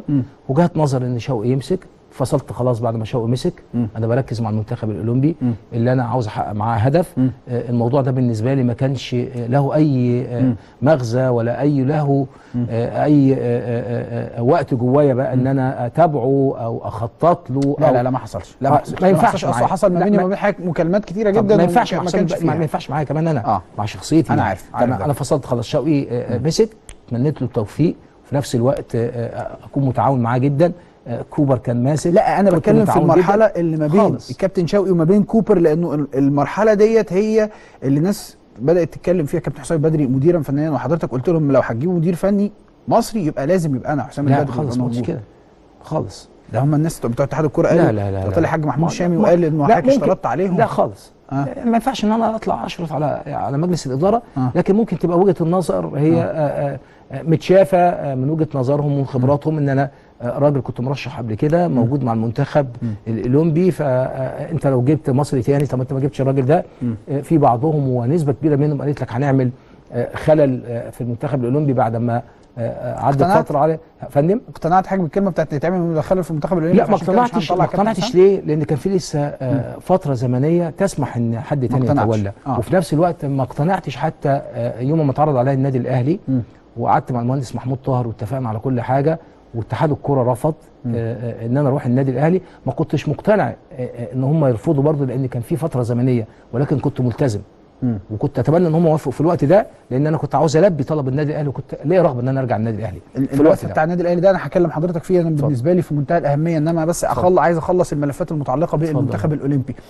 أنا في جزئية يعني شائكة شوية بس عاوز يعني توضيح يعني؟ توضيح عايزة توضيح شوية. آه، هي. فكرة علاقة حضرتك بأعضاء مجلس إدارة الاتحاد المصري لكرة القدم لأنه أنا بقول لك من جوه الكواليس الناس بيقول إحنا إحنا مش عارفين نتعامل مع كابتن حسام البدري كابتن حسام أنا آسف في اللي أنا هقوله. قافل وشه طول الوقت مش سامح لأي حد إنه يقرب ناحية المنتخب. ولما كنا بنتكلم في أي تفاصيل ليها علاقة بالمنتخب الكابتن حسام بدري كان بعدنا عنها. أقول لك حاجة؟ آه. يعني قبل ما نكمل سؤالك آه. وأنت جاوبني برضه بمنتهى الصراحه آه. الكلام ده قال بعد بعد ما خرجنا آه. صح؟ آه. طب خلاص. شوف أنا بقول لك أصل الخبرات انت الكلام ده اتقال بعد قافل وشه وما بدناش بعد ما خرجت يتقال الكلام ده. آه. لكن وأنا موجود آه، آه، الإشادة آه، آه، بتصرفاتي الإشادة في النظام اللي أنا حاطه. في التنظيم في العلاقة بيني وبينهم. مم. فبالتالي ممكن لما يحصل إخفاق يقول لك أصل لا. طب انت أنت كعضو مجلس إدارة دورك إيه معايا؟ دورك إن أنت توافق على اللي هيعرضه عليك المشرف أو ما توافقش. لكن مش دورك آه نقابل بعض نبقى محترمين جدا مع بعض ونتكلم. لكن مش هنتكلم في العمل. لأن إحنا منظمين العمل مشرف فمدير فني في آه، تناقش في تداول بيننا بين مجلس الإدارة ممكن يقولوا للمشرف لا إحنا مش موافقين. المشرف لازم ينفذ. يعني حمادة المصري ممكن يتقال له من مجلس الإدارة في وقت مم. إحنا مش موافقين لازم ينفذ. لكن أنت كعضو مجلس إدارة عاوز تيجي تقول لي إيه؟ هيبقى في خلط. وده مش اللاعب الفلاني ده ما خدتوش لا يا كابتن ما تاخد طب اللاعب وده- ينفع؟ ما؟ حصل ده كابتن هم كانوا بيحاولوا ده ده ما ينفعش في الكورة آه. فأنا بحط النظام اللي المفروض يمشي في أي حتة آه. سواء مع منتخب أو نادي يعني. حضرتك قلت لي ان إنك ما اقتنعتش بالأسباب اللي هم قالوها لك في فكرة إنه يا كابتن حسام حضرتك مش هتتولى المنتخب الأول آه علشان خاطر المنتخب الأولمبي محتاجك حضرتك ما اقتنعتش بالأسباب ديت صرحوا لكن ما صرحوا؟ آه هم صرحوا. هم صرحوا وبالتالي آه. حضرتك لم يكن لديك القناعة. في الوقت ده قيل إنه كابتن حسام بدري مش عايز يكمل أصلا مع المنتخب الأولمبي ويعني خلاص كده أنا زهقت. آه، آه، قيل من آه الإعلام. فبالتالي الإعلام كان مقتنع وقتها. إن أنا المفروض أمسك المنتخب الأول. أو أنا بنسبة كبي- كبيرة المفروض أمسك المنتخب الأول. من إخوة كبير كتير من الإعلام. يعني ممكن البعض هيطلع يقول لك لا إحنا ما كنا لا لكن في وقتها طب حسام البدري ما يمسكش ليه. ونسبة كبيرة جدا. فبالتالي الإعلام كان بيتداول الحتة دي. ده حسام البدري مش مقتنع وكده. وحسام البدري ما صرحش ولا أنا اتكلمت ولا قلت لأن أنا لازم في الحتة دي أنتظر وأشوف. وحتى كان كل كلامي آه، في الوقت ده آه، هل أنت هتستقيل؟ هل أنت هتمشي؟ لو جاء أنا مالي قلت ماليش رد. أنا رد فعلي أما أشوف إيه القرار هيبقى إيه. طيب. فبالتالي أما آه، جابوا منتخب مدرب أجنبي. هتصارحني بس في النقطة دي. اتفضل. لو كان جه مدير فني مصري والكابتن حسام البدري موجود يتولى المهمة الفنية لمنتخب مصر الأول. تمام. ما كان موقف الكابتن حسام؟ آه، وقتها. يعني وقتها آه، آه، آه، آه، آه، يعني آه، كنت هفكر بنسبة كبيرة إن أنا أمشي. لكن ممكن لو جيت قلت لي أنت ماسك المنتخب الأولمبي وهيحصل اهتزاز وكده وهنضطر نجيب مثلا الكابتن حسن شحاتة. كان لازم ساعتها أفكر إن أنا ممكن أتقبل الموضوع. بس. الكابتن حسن شحاته بس اللي تتقبل الموضوع. يعني ممكن نجيب كابتن شحاته كنت ممكن أتقبل الموضوع. يعني ده يعني اعتراف من حضرتك بقيمة الكابتن حسن طبعاً. شحاته؟ بخلاف ذلك طبعا كان هيبقى طبعا طبعا. ده قيمة الكابتن حسن شحاته كبيرة طبعا لك كنت وقتها ممكن أفكر أقول طبعا لازم أتقبل الكلام ده ومفروض أتقبل الكلام ده لقيمة الكابتن حسن شحاته. طيب يعني على ذكر الكلام اللي حضرتك كنت بتقوله على السيد جمال علام رئيس الاتحاد المصري لكرة القدم هو معانا على التليفون. يا أستاذ جمال أهلا وسهلا بحضرتك وصباح الفل. صباح الفل يا أستاذ إبراهيم وتحياتي ليك وتحياتي للكابتن حسام. أنا مش سامع حقيقي وتحياتي للكابتن حسام. أهلا وسهلا أستاذ جمال. أهلا؟ وسهلا بحضرتك يا أستاذ جمال. والله حقيقي يمكن أنت بتتكلم في ال- بت- بتقول على ذكر. أنا والله ما شفت ال ال ال ال ال الكلام ولا أنا طبعا أنا داخل معاك. لكن طبعا من غير ما أنت تقول أنا عارف الكابتن حسام هيقول إيه من غير ما أنا يعني من غير ما أنا أسمعه أنا عارف الكابتن حسام بيقول إيه. ودي من الشخصيات اللي أنا بعتز بيها فعلا اللي أنا شفتها. ووحشني يا كابتن حسام والله. الله يخليك يا أستاذ جمال وأنت والله. وبالتوفيق كده إن شاء الله. بالتوفيق. ربنا يكرمك إن شاء الله يا أستاذ. الله يخليك. الله خلي بالك لازم تكون معانا يوم الثلاثاء إن شاء الله يعني. بإذن الله إن شاء الله. إن شاء الله شاء بإذن الله. بإذن الله يا أستاذ طبعا.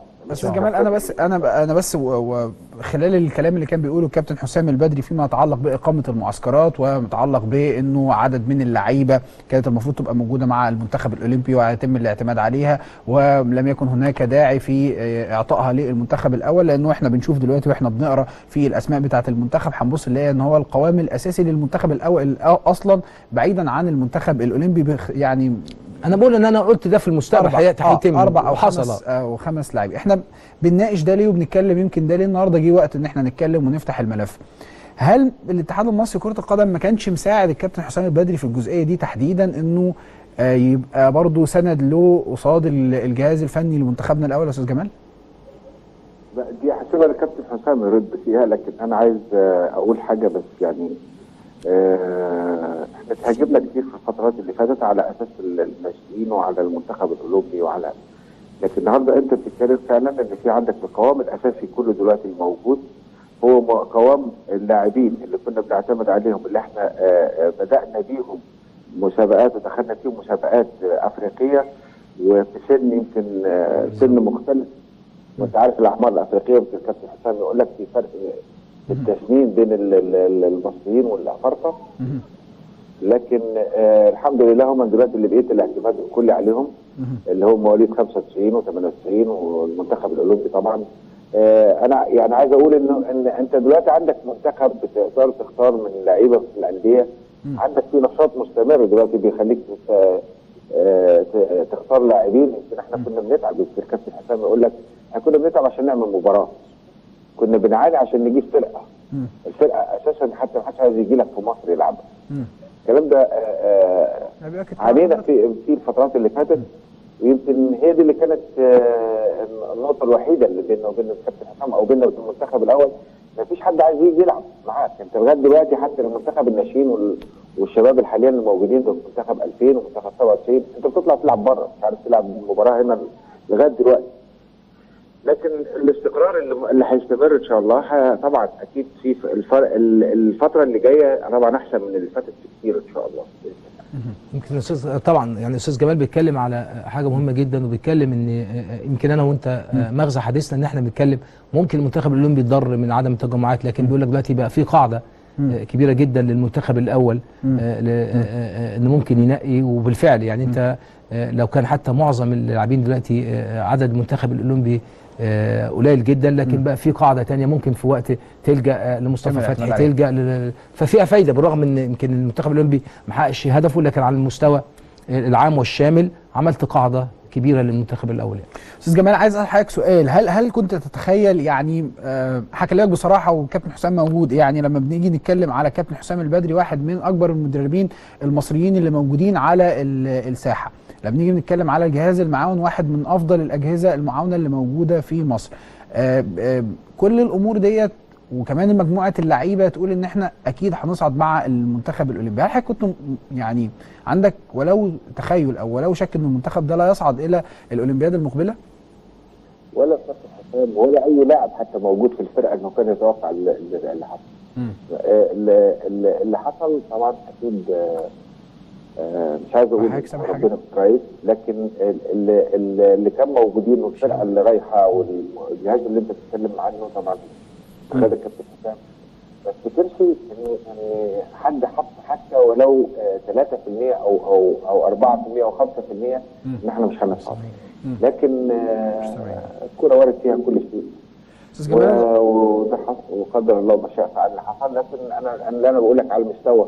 الكروي دلوقتي انت عندك آه، ويمكن أستاذ جمال أكد. لي وأنا مسافر. قال لي يعني إن شاء الله هتاهلوا يعني فعلا ما كانش حد عنده شك لكن هي دي كرة قدم. عنده شك. طبعا طبعا طبعا. أستاذ جمال أنا بشكر والحاجة الوحيدة كمان أنا بشكر عليها كابتن حسام إن هو فعلا بمجرد ما ما نزل آه قال يعني هو نفسه اعتذر قال أنا أنا مش عارف اللي حصل إيه وأنا بعتذر لك أنا كان طبعا طموحي أكتر من كده. بالظبط. ما أنا مش عارف إيه اللي حصل. آه. أنا بشكر حضرتك شكرا. جزيلا يا فندم وبتمنى ل إن شاء الله الاتحاد المصري لكرة القدم التوفيق مع آه، المنتخب ال- الأول قبل مباراة آه، نيجيريا. بشكرك يا فندم شكرا آه، جزيلا. كابتن حسام أنا عندي أسئلة كتيرة جدا. ملف النادي الأهلي أنا لسه ما فتحتوش. ملف المباحثات الطويلة مع النادي الأهلي أنا لسه ما فتحتوش مع حضرتك. حوار ممتع جدا. الهاشتاج بتاعنا آه، هو سوبر underscore البدري. هناخد أسئلة حضراتكم أو الكلام اللي أنتم باعتينه لكابتن حسام البدري. وعندنا كمان أسئلة كتيرة جدا جدا. خليكم معانا بعد الفاصل في السوبر.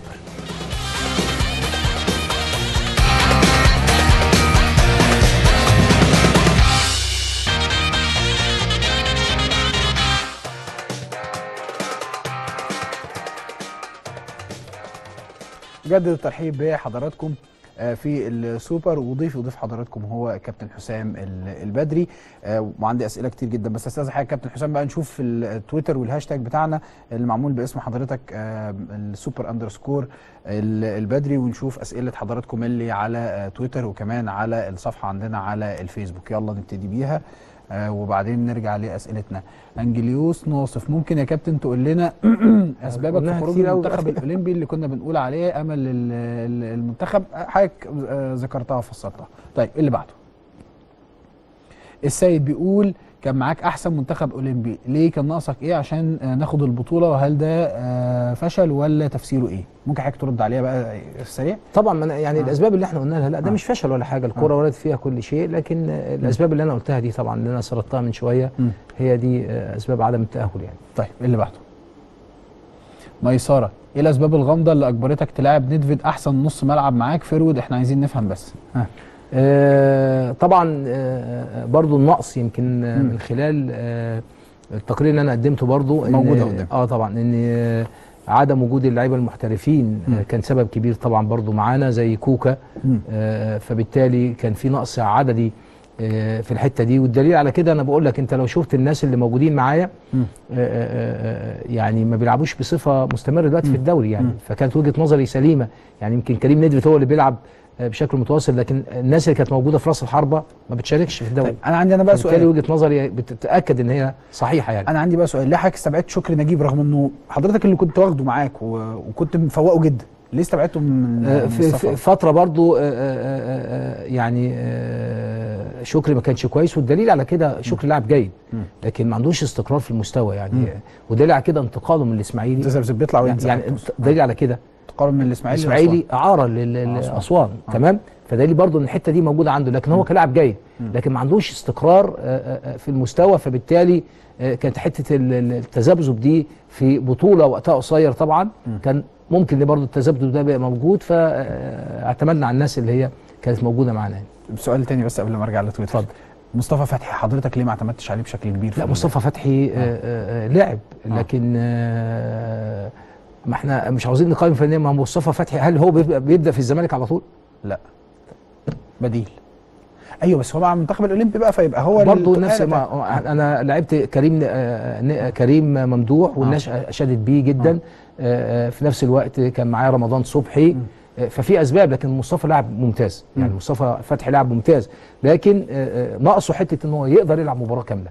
طيب. يقدر يلعب ال 90 دقيقة. لكن هو لاعب ممتاز بيعمل لك الفرق.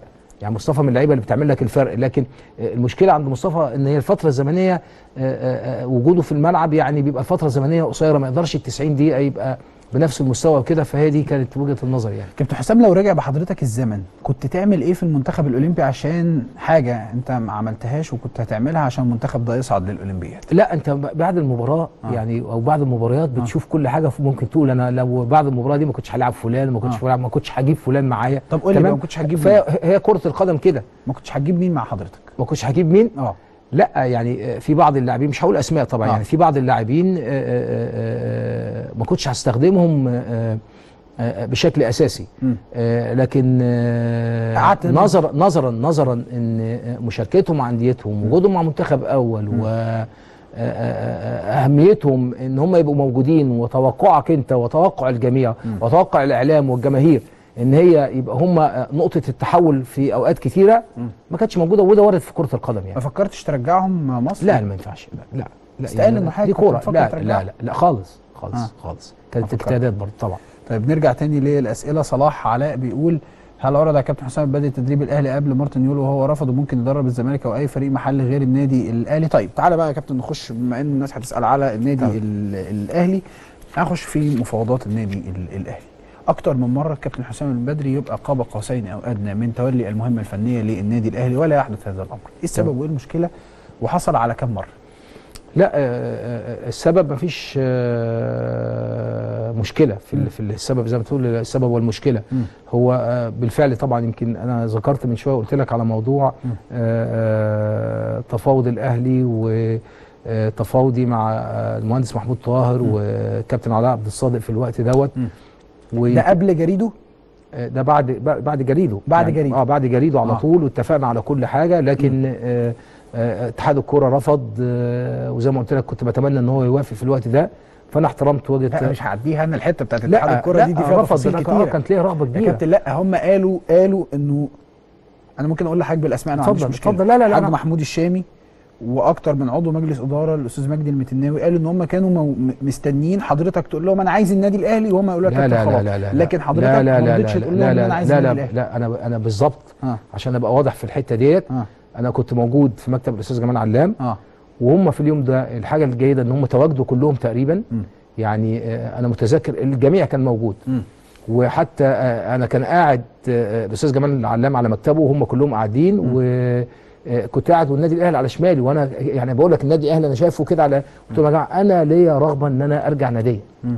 يعني ليا رغبة إن أنا أبقى موجود في النادي الأهلي في الفترة على النادي الأهلي. آه في النادي في النادي الأهلي في الفترة دي وليا رغبة إن أنا أبقى موجود. آه، آه، آه، فقالوا لي البعض قال لي آه، طب إحنا آه، رافضين البعض الآخر آه، إحنا كابتن مقدرين آه، آه، إحساسك بس المنتخب الأولمبي البعض قال إحنا رافضين الكلام دوت. فبالظبط أنا فاكر بعد نص ساعة أستاذ جمال علام قال لي يا كابتن حسام لو سمحت طيب آه، آه، سيبنا وإحنا قرارنا هتعرفوا بعد ربع ساعة. نزلت آه، آه، من مبنى اتحاد الكورة خدت عربيتي وكان وقتها موجود حتى معايا أيمن حافظ. بلغوني وأنا في العربية إحنا بنرفض إن أنت تسيب المنتخب الأولمبي. فبالتالي حتى رحت بتكلم على عبد الصادق قلت له علاء حصل كذا كذا بالرغم. آه، آه، إن إحنا يعني كان عندنا ضوء أخضر آه، آه، مش أنا. لأن آه، المهندس محمود طاهر قعدت معاه قال لي أنا طبعا بحترم آه، مجلس الإدارة واتكلمت مع محمود بعضهم. طاهر اتصل هاتفيا بأحد أعضاء مجلس الإدارة وبرئيس الاتحاد نفسه وكان واخد منه شبه موافقة على إن حضرتك تتولى طبعا. أنا هو بقول لك أهو يعني حتى لو كده المهندس محمود طاهر قال لي معظم الناس مدياني الضوء الأخضر وبناء على الكلام دوت آه، أنا قعدت معاك. يعني هو حتى كان مرتب إن آه، آه، هيتكلم الناس الأول عشان ياخد الضوء الأخضر ما يبقاش فيه آه، تعارض بينه وبين مجلس الإدارة وبالتالي آه، مش النادي الأهلي اللي بيعمل كده. وهو تصرف طبعا المهندس محمود طاهر بشكل كويس إن هو عمل التصرف دوت واتصل بيهم وقال لي في ضوء أخضر للموضوع ده. وأنت هتروح بكرة الموضوع هيخلص خالص والناس هتبقى موافقة. على أساس ما يبقاش فيه آه، أي حاجة. فعلا رحت لقيت آه، آه، موجودين؟ رفضوا. وتم رفضوا رفضوا ولا حبوا يورطوا حضرتك مع الناس بأنه يخلوك تكتب إقرار؟ لا خالص ما حدش قال عن موضوع الإقرار ونزلت لقيت آه، بعض وسائل الإعلام كاتبة إن قالوا اكتب لحسام البدري إن أنت بترغب في الرحيل. آه. آه. البعض قال لك إن أنت مش هتخش المنتخبات تاني. كان كل ده اجتهادات لم نتطرق ليه. ما حدش طلب مني إن أنا أكتب ورقة ما حدش قال لي أنت مش هتمسك منتخبات تاني. آه، اللي حصل إن البعض قال إحنا بنرفض البعض البعض قال إحنا هنتشاور دلوقتي. وبعدين الأستاذ جمال علام قال لي كابتن لو سمحت اتفضل. وإحنا هنبلغك قررنا بعد شوية بالتليفون. وفعلا على الموبايل بعد ربع ساعة كنت في عربيتي وكلمني الأستاذ جمال علام قال لي مجلس الإدارة بيرفض رحيلك. يعني حضرتك تؤكد إنه ابديت رغبتك في تولي طبعاً. المهمة الفنية طبعاً. للنادي طبعاً. طبعاً. وحضرتك تؤكد إنه كان هناك آه، الضوء رغبة مني. الاخضر الرغبه وكان هناك ضوء أخضر ممنوح آه، من قبل مجلس إدارة الاتحاد المصري لكرة القدم للمهندس آه، محمود طاهر. لأنه ما قيل كان عكس ذلك تماما أنا ما هو آه، لما كانش لما كانش آه. في الضوء الأخضر ده كان ممكن أنا المهندس محمود طاهر نقعد وما اروحش اتحاد الكوره تاني اللي اتقال على هم- يبقى في اجتماع ده أنا رايح طب إزاي أنا رايح اتحاد الكوره عشان يبقى في اجتماع بخصوص الموضوع ده يعني إحنا نحسبها كده حتى منطقيا يا إبراهيم مم. أنا رايح وفي أعضاء مجلس الإدارة كلهم موجودين وجايين مم. لمناقشة إيه مم. يعني ما كانش في اجتماع مجلس إدارة. لكن كلهم متواجدين بناء إن الموضوع ده هيتناقش ويبدو رأيهم يا يرفضوا يا يقبلوا. يعني حتى ما كانش في اجتماع مجلس إدارة. طب ليه يتواجد كل أعضاء مجلس الإدارة في الوقت ده ده هو ده مش اجتماع بالظبط آه خلاص يبقى كان فعلا في ضوء أخضر آه وإن الموضوع هيتباحث يعني يتناقش لكن يمكن ما يتناقش مع كل الأعضاء مم. فبالتالي في آه، بعضهم رفض فبالتالي هم احترموا آه، وجهات نظر بعض فبالتالي تم رفض الموضوع في المرحلة دي دي كانت أول مرحلة بالنسبة للتفاوض معايا مع النادي طيب في ال في ال في, ال في الوقت ده وحضرتك موجود مع ال- الاتحاد المصري لكرة القدم هل خشيت إنه أنا آسف والله في التعبير أنا آسف. أنا عارف أصل الملابسات بتاعه الكابتن حسن حمدي وترك حضرتك للنادي الأهلي وهتكلم فيها إذا. حضرتك اذنت لي يعني هل خفت إنه الناس تتهمك بالخيانة للمرة الثانية لا مش خيانة المره آه. الثانية لكن هيبقى كان في اجتهادات م. كبيرة جدا م. آه، آه، وقتها ده منتخب مصر م. فالناس هتقول لك زي ما أنت بتقول ده ساب منتخب مصر وكده وأنا أعلنت يعني بالرغم من كل ده أعلنت إن أنا ليا رغبة إن أنا أرجع النادي الأهلي م. آه، آه، آه، مش تقدر تحسبني على رغبتي يعني. يعني هتتكلم على إيه رغبتي أنا قلت أعلنت فبالتالي لو كان مجلس الإدارة آه، قال إحنا وافقنا فبالتالي أعتقد ما كانش هيبقى في مجال آه، لأي اجتهادات أو إن أنت آه، تنتقد أو إن أنت تتكلم ممكن تقول وجهة نظر تمام؟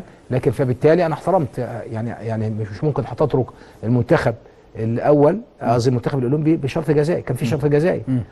تمام؟ والبعض قال لي أنت ما دفعتش الشرط الجزائي ليه؟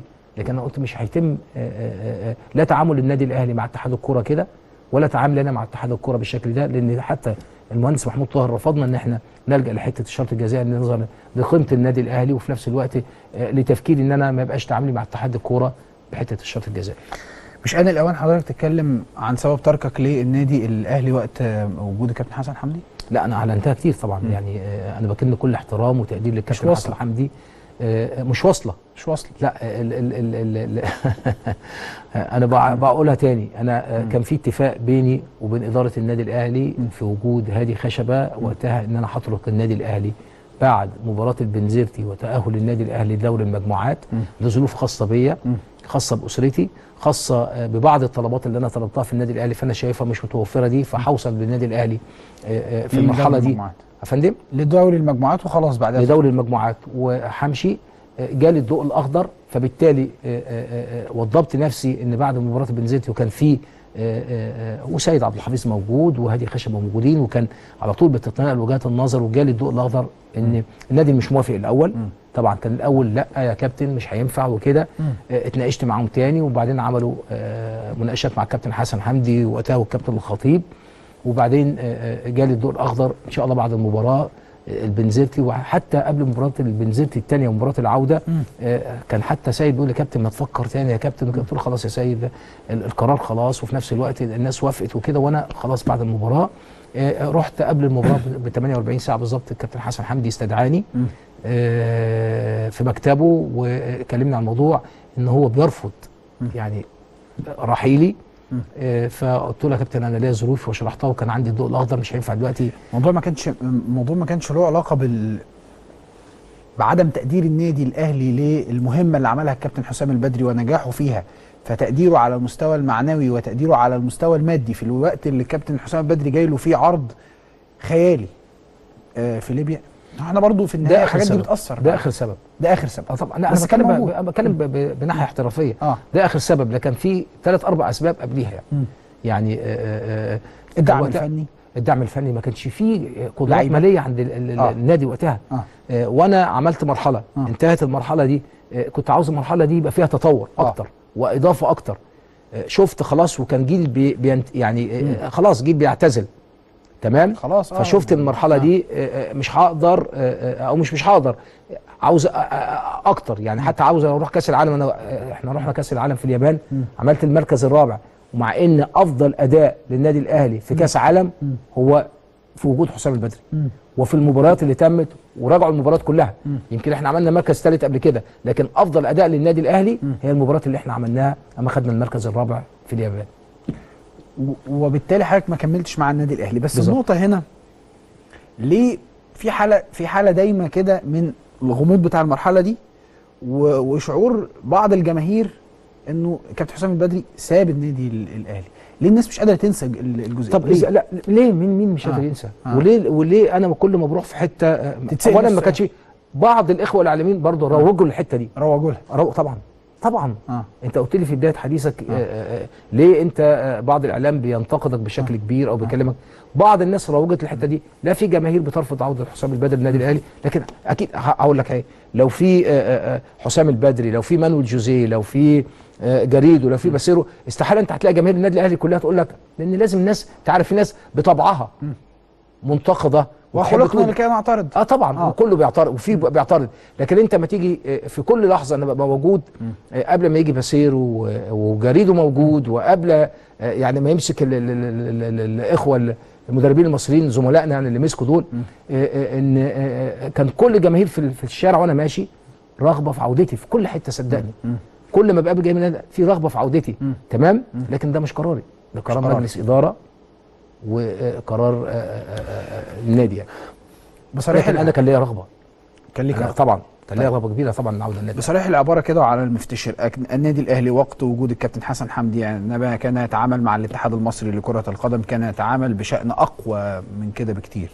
وبالتالي هل شعر الكابتن حسام البدري بالصدمة من تعامل اتحاد الكورة أو تعامل مجلس إدارة الاتحاد المصري لكرة القدم مع النادي الأهلي في موضوعك إنه لا ده مش هو ده النادي الأهلي مش والنادي الأهلي لما كان بيتكلم كان بيخلص على طول؟ لا لا دي مش صدمة. آه. يعني مش صدمة. آه، وجهات نظر آه، آراء بتتقال آه، ناس مسؤولة آه، عن اتحاد الكورة. وجهة نظرها إن هي ما تسيبش حسام البدري آه. في الوقت ده أو ما تديش آه، القرار إن حسام البدري يمشي.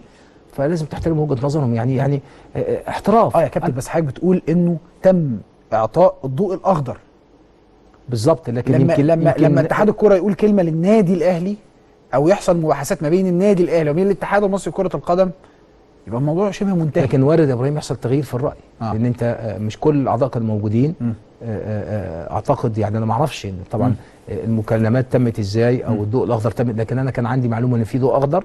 هتروح بكرة اتحاد الكورة الناس هتوافق يعني اتناقشوا معاهم والناس كلموهم ومجلس إدارة النادي الأهلي آه، احترم كل الأعضاء وكلمهم وكده وعندنا ضوء أخضر إن هم يوافقوا. آه، رحت أنا الاجتماع حصل تغيير في وجهات النظر وارد إنه يحصل يعني. طيب أنا سألت حاجة على موضوع الإقرار بس برضو في جزئية. قال قالوا إنه الكابتن حسام البدري قالوا له اكتب إقرار إن أنت تمشي وإحنا هنسيب حضرتك تمشي لكن لن تعود لتدريب أي منتخب من المنتخبات الوطنيه خالص ما حصلتش. خالص خالص آه.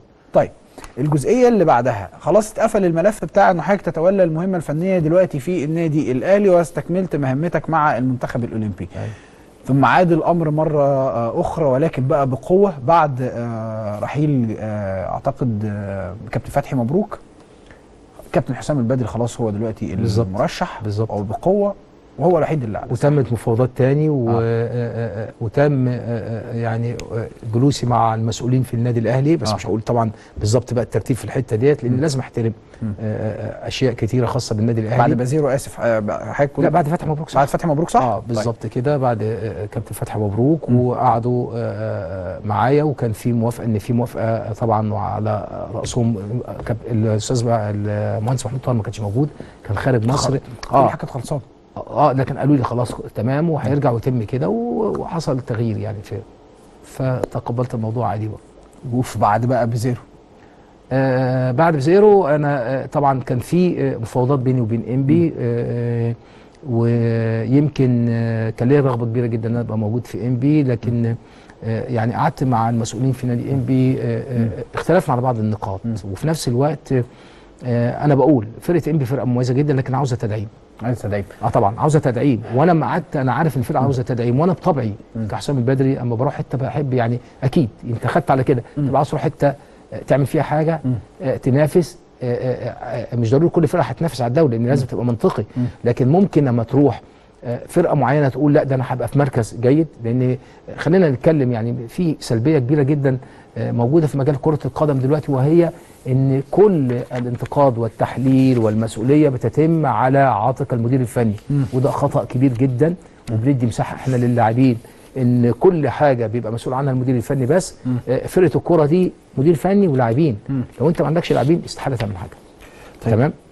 فبالتالي آه، زي ما أنا بقول لك كده آه، يمكن أنا كانت وجهه نظري إن فرقة انبي عاوزة تدعيم واختلافنا في بعض الأشياء آه، آه، مع إدارة انبي مش اختلاف يعني آه، اختلاف وجهات النظر آه، يمكن معانا اعتذرت يعني. قلت لهم لا أنا في المرحلة دي مش هقدر أبقى موجود يعني. من الكواليس قيل انه النادي الأهلي قال للكابتن لا لكن إحنا هنكمل بقى في الأو... آه. وكان بعد آه، آه، وأنا اما اعتذرت بعدها جالي تليفون برضو مش هقول من مين إن آه، آه، يعني يا ريت ما تمضيش آه، مع انبي آه، نظرا قال لك طب ده أنا دي المعلومه اللي كانت عندي. آه بالظبط. نظر رغبة كده. فأنا already أنا يعني مش عشان النادي آه. الأهلي وقتها لأن جات لي التليفون ده بعد ما أنا اعتذرت لمسؤولين نادي انبي لا. فهم كانوا بتوع انبي حتى معتقدين إن أنا عملت الكلام دوت عشان النادي الأهلي. لا بالعكس بعد كده آه، آه، آه، حتى ما روحت جالي تليفون كابتن يا ريت ما تمضيش مع إنبي كده إن في رغبة كذا وهيتم كذا ومش عارف إيه. قلت لهم عموما أنا يعني اعتذرت لإنبي وكده وانتظر يعني مش انتظرت يعني وت- ما تمش برضه. للمرة الثالثة. المره الثالثة آه. في حد جوه مجلس إدارة النادي الأهلي بيحارب عودة لا ما أعرفش. لا ما أعرفش يعني ما- بحثتش يعني أكيد في ناس موافقة وناس مش موافقة أكيد في وجهات نظر في فرق ما. بين الموافقة من عدمها طبعا وفي فرق ممكن حد إنه ممكن مش موجود. محاربة ممكن حد ما عندوش رغبة لوجود حسام البدري آه، لصعوبة التعامل في الوقت ده أو لأسلوب حسام البدري أيوة. آه، لأسلوب حسام البدري آه. آه، آه، آه، آه، إن في في فصل في الكورة وفي قطر معدي لا مش في قطر آه. معدي في فصل في الكورة في نظام اتعودنا عليه في النادي الأهلي وده اللي آه. عمل الإنجازات ده اللي عمل انجازات للنادي الاهلي في السنوات اللي فاتت دي والناس لما بتشيد بال بال بال بال بالوقت الذهبي للنادي الاهلي آه في حاجات آه آه يمكن أنا هقول لك أنا قعدت مع المهندس محمود طاهر وأنا بنتكلم اتكلمنا ببعض النقاط آه آه آه لقيته أنا كمان هو هو مرحب جدا بالنقاط ديت ومرحب ان آه آه آه يتم تعديل في بعض النقاط فبالتالي آه آه في رغبه ان آه آه النادي الاهلي ينجح آه لاي مسؤول بيتولى المسؤوليه فبالتالي بقول لك أنا يمكن أنا اتعودنا على حاجات معينة في النادي الأهلي فأنا اتناقشت واتكلمت فيها فبالتالي ممكن البعض آه، ملوش رغبة إن الحاجات دي تبقى بقى. موجودة. لا أو يبقى في فصل في الحاجات أو يبقى آه، آه، المدير فني مدير فني ومدير الكورة مدير كورة والمشرف مشرف وكده آه، ممكن البعض بيرفض الكلام ده فبالتالي في آه، صعوبة في الحتة دي لكنها آه، ما بتبقاش للمصلحة يعني. طبيعة العلاقة بين حضرتك وكابتن زيزو عاملة إزاي؟ لا علاقة جيدة جدا عمر ما في خلاف بيني وبين الكابتن اتقال زيزو. انه الكابتن زيزو برضه واقف على آه يعني ممكن يبقى مسافة كابتن- رفض أنا آه، ما عنديش تأكيد بالكلام ده ما صدقني عندكش يعني. تأكيد ما لكن عنديش. برضه زي ده لكن علاقتي بالكابتن زيزو علاقة مميزة جدا. ممكن هو ملوش رغبة ان يبقى حسام البدري. من حقه ممكن يكون عنده اسباب هو لكن هتقول لي على علاقتي بالكابتن زيزو هقول لك علاقة مميزة جدا وجيده جدا يعني. طب إيه قصة عدم عودة حضرتك للمرة الثالثه لا الأسباب ما اعرفها ما بحسش فيها. آه. لأن أنت زي ما أنت بتقول لو بحثت فيها آه. آه، هيحصل إيه؟ إن أنا آه، آه، آه، ممكن آه، آه، آه، أجتهد في أشياء آه، غلط فبالتالي هخسر بعض الحاجات هخسر بعض العناصر هخسر بعض الناس. آه. تمام؟ وده مش أسلوبنا في النادي الأهلي. يعني فاهم؟ تملي آه، آه، آه، أسلوبنا آه، آه، بتبص للكيان. مم. للكيان. يعني أي فرد بيبقى موجود عمره ما بيبص للمصلحة الشخصية. أو بيبص آه، لأهل الثقة. أو كده. ودي خلي بالك دي ميزه النادي الأهلي على طول إن أنت لو تشوف انتقاء آه، آه، آه، الأفراد في النادي الأهلي من خلال الفترة اللي أنا تواجدتها تواجدت مع الكابتن حسن تواجدت مع الكابتن حسن والكابتن الخطيب يعني انتقاء الأفراد آه، تجد إن كل واحد موجود في المكان المناسب. مدير كورة. عمره ما بتحصل المشكلة. مدير فني. آه، آه، مدير قطاع ناشئين. فكان الانتقاء على آه، مستوى عالي جدا يعني. رأيك إيه في فرقة النادي الأهلي دلوقتي؟ أفضل فرقة في مصر يعني يعني أفضل فرقة. طبعا من حيث العناصر أفضل فرقة في مصر. آه، آه، المدير الفني الجديد أكيد هتسألني عليه. آه، يارد. فهقول لك طبعا يعني شيء آه، جيد جدا إن هو طبعا آه، لسه ما أقدرش تقيمه برضه يعني. المرحلة أو الوقت ما أقدرش اقيمه بشكل كبير لكن السي في بتاعه طبعا قوي جدا. آه، الشيء الجيد آه، من خلال الفترة البسيطة دي إنه آه، آه، آه، ما عملش تغييرات آه، آه، آه، يمكن خالص في آه، إنه يحاول يجتهد في آه، إنه يغير الهيكل أو يضيف وكده لسه واخد وقته وهو بيلعب بال- بالافراد اللي المفروض يلعبوا وبيعمل التغييرات بشكل كويس. آه، آه، يمكن آه، ما نقدرش نقيمه دلوقتي لكن يمكن بنتكلم على أسلوب الأوروبيين معروفين بيه. آه اللي موجود بيلعب بيه؟ مش موجود. برضه عاوز أتكلم. يمكن أنت الماتش اللي فات البعض اتكلم على حتة آه، هو النادي الأهلي هجماته قلت ليه؟ هو النادي الأهلي توقعنا إن بعد ال- الجون الأولاني اللي جاء آه، بعد 10 دقائق هو طبعا يمكن حتة الالتزام اللي بتتم من ناحية آه، آه، السيستم الأوروبي وكده ده شيء جيد وم- ومطلوب في كرة القدم. لكن في بعض الأحيان لما بتبقى فيه فروقات بين فريق وفريق لابد إن يبقى الالتزام ما يبقاش مبالغ فيه لأنك تستخدم قدرات فرقتك بشكل أسرع وأقرب. طيب. يعني يعني أ- فهي أهلي دي يعني. أهلي أهلي الكابتن حسن حمدي ولا أهلي آه، المهندس محمود آه، طاهر من الناحية الفنية اللي ليها علاقة بالكورة. من الناحية الفنية؟ لا الناحية الفنية؟ المسؤول عنها المدير الفني. لا حضرتك ما خدتش بالك أنا أقصد إيه؟ الفنيه لا. لا حضرتك ما آه. خدتش بالك أنا أقصد إيه؟ آه. system النادي الأهلي وقت الكابتن حسن حمدي في الكورة ولا system المهندس محمود طاهر في الكورة؟ ما أقدرش أتكلم على system يعني system الكابتن حسن حمدي كان مميز. مم. تمام؟ وأنا بقول لك يعني في أشياء جديدة ما أنا أسترجع كده كحسام البدري. مم. من خلال وجودي في الفترة دي أقول لك أشياء آه، آه، كتيرة مميزة جدا في انتقاء الأفراد في النظام آه، في التركيز في أشياء كتيرة جدا في الفصل وبقى طبعا كل الكلام ده ما بيتمش إلا من يعني من راس الهرم يعني راس هو الهرم. بالظبط. راس الهرم راس. الهرم هو اللي. بيدير الكلام ده كله. لكن هتكلمني على السيستم دلوقتي مجلس محمود طاهر أنا مش موجود مش جوه. أنا مش جوه عشان أقدر أحكم يعني ولا حتى في المفاوضات قدرت قدرت تستنبط الشكل لا؟ مفاوضات يعني مفاوضات آه، اللي تمت بيني وبين المهندس محمود طاهر آه، آه، في سياق مدير فني بيتعاقد مع رئيس النادي بكل احترام بوجهات نظر بشكل مرتب بتناول نقاط كثيرة جدا. ده اللي تناولته أنا والمهندس محمود طاهر تناولنا نقاط كثيرة جدا. فكانت مفاوضات جيدة جدا طبعا بيني وبينه لكن ما تمتش يعني. ناخد فاصل وبعد الفاصل مكملين مع حضراتكم في حوار مهم جدا مع الكابتن حسام البدري اللي مشرفنا ومنورنا في السوق.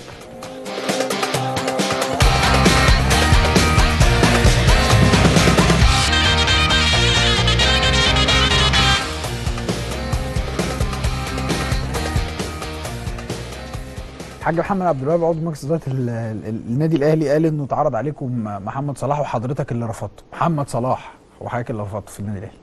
أنا طبعا اندهشت إن الحاج محمد عبد الوهاب صرح التصريح ده ويمكن ما أعرفش أنا ما سمعتوش لكن أنا قريته وحتى قيل إن هو ب 800000 جنيه.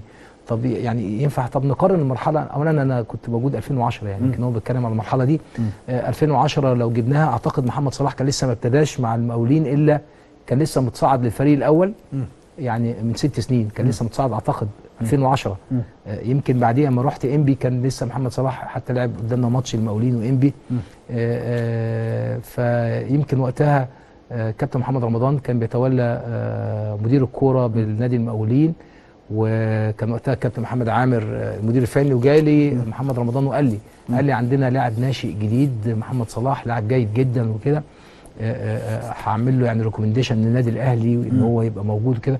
فقلت له طب ما تشوف يا رمضان وكده. قال لي طب. فسأل آه، آه، طبعا وشاف إن ممكن إن النادي المقاولين يستغنى رجع تاني قال لا النادي المقاولين مش هيسيب الولد دلوقتي خلاص ده 2010 آه، وفي الولاية الثانية طبعا محمد صلاح كان سعره حتى كان لسه موجود في الدوري المصري اتقال ب 10 مليون وكده مش 800 ألف زي ما قال 800,000. الحاج محمد أبو وهاب لكن في الولاية الأولى ما تعرضش عليا حاج محمد ولا ب 800 ألف لأن حتى لو شفت المرحلة اللي إحنا كنا بنشتري فيها اللعيبة في الوقت ده كان فلوسها.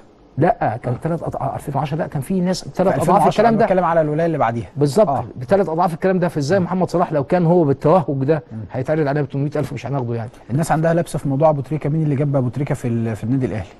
أبو تريكة يعني هو يمكن مانويل جوزيه في أحد آه، احتفالاتنا الخاصة آه، آه، في أحد الفنادق مش عاوز أقول اسم الفندق يعني وكان كان ليمو برضه سؤال وجه ليه آه، على أبو تريكة فقال يعني آه، لو عاوزين تشكروا حد على أبو تريكة فاشكروا الراجل دوت اللي هو أنا كنت موجود طبعا في الاحتفال ده لأن آه، هو اللي عمل recommendation لضرورة وجود أبو تريكة لأن أبو تريكة آه، آه، كان عندنا لجنة فنية آه، آه، في الوقت دوت ويمكن اللجنة الفنية بعضها كنا ما بين إن إحنا آه، آه، في أسماء كثيره وإحنا بنكون الفريق في 2004 أنا وجوزيه. آه، كان البعض قال لا أبو تريكة لا, لا يصلح للنادي الأهلي والبعض الآخر وأنا كنت مصر على أبو تريكة. وطبعا كان برضو النظام عندنا آه، في النادي الأهلي ما دام الجهاز الفني قال حاجة بتتنفذ. بتتنفذ. يعني وقتها آه، آه، قلت لا أنا مصر على أبو تريكة لأن كان جوزيه سايب لي الحاجات دي طبعا لأن لمعرفتي باللعيبة المصريين. فقلت لا أبو تريكة مهم وأبو تريكة لازم يجي. وطبعا آه، آه، ابتدت المفاوضات وكنت أنا والكابتن عادل القيعي. يعني آه، أبو تريكة دوخنا بس مش كتير يعني. مش كتير. آه اجتمعنا بيه ثلاث أيام. في الفجر كنا في بيت الكابتن عادل القيعي. كنا بنجيب أبو تريكة.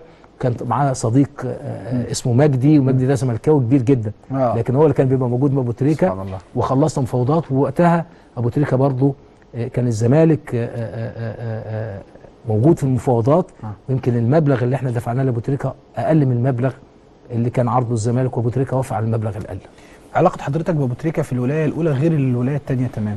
علاقتي دواما مع أبو تريكة علاقة مميزة. والله؟ آه، طبعا. آه. آه، ده آه، في ولسه على اتصال دلوقتي؟ ولسه في لسه في عيد ميلادي طبعا برضو بعت لي الرسالة ومهنيني آه، وعلاقة مميزة والناس اللي أنا بع يعني بعتز بيهم جدا وبعتز بالتوازن بتاعهم.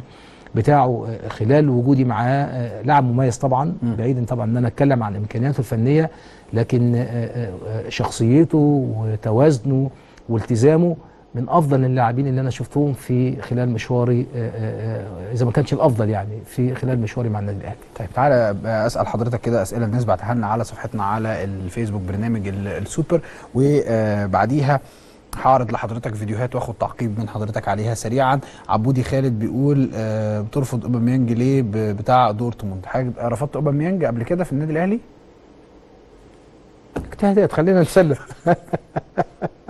إيه رأيك في أحمد حمدي؟ ده أحمد ميدو. آه، أحمد حمدي آه، لاعب الأهلي. آه الناشئ لاعب مميز جدا. وأنا يمكن آه، بعد آه، آه، آه، مرحلة المنتخب الأولمبي كلمت سيد عبد الحفيظ وقلت له إن في لاعب مميز جدا اسمه أحمد حمدي عندكم. اهتموا بيه ويمكن هو في إعارة دلوقتي آه، في المقاولين. بتمنى له كل التوفيق لكن لاعب مميز جدا يعني. طيب اللي بعده؟ آخر حاجة. آه أنا آه محمد بيقول إيه توقعاتك لماتش نيجيريا؟ إيه الفرقة القادمه ليك؟ لو أنت مكان كوبر هيبقى إيه التشكيل قدام نيجيريا؟ إيه توقعاتك لماتش نيجيريا؟ إن شاء الله بإذن الله أتمنى طبعا آه، نوفق بإذن الله وان شاء الله نعمل حاجة.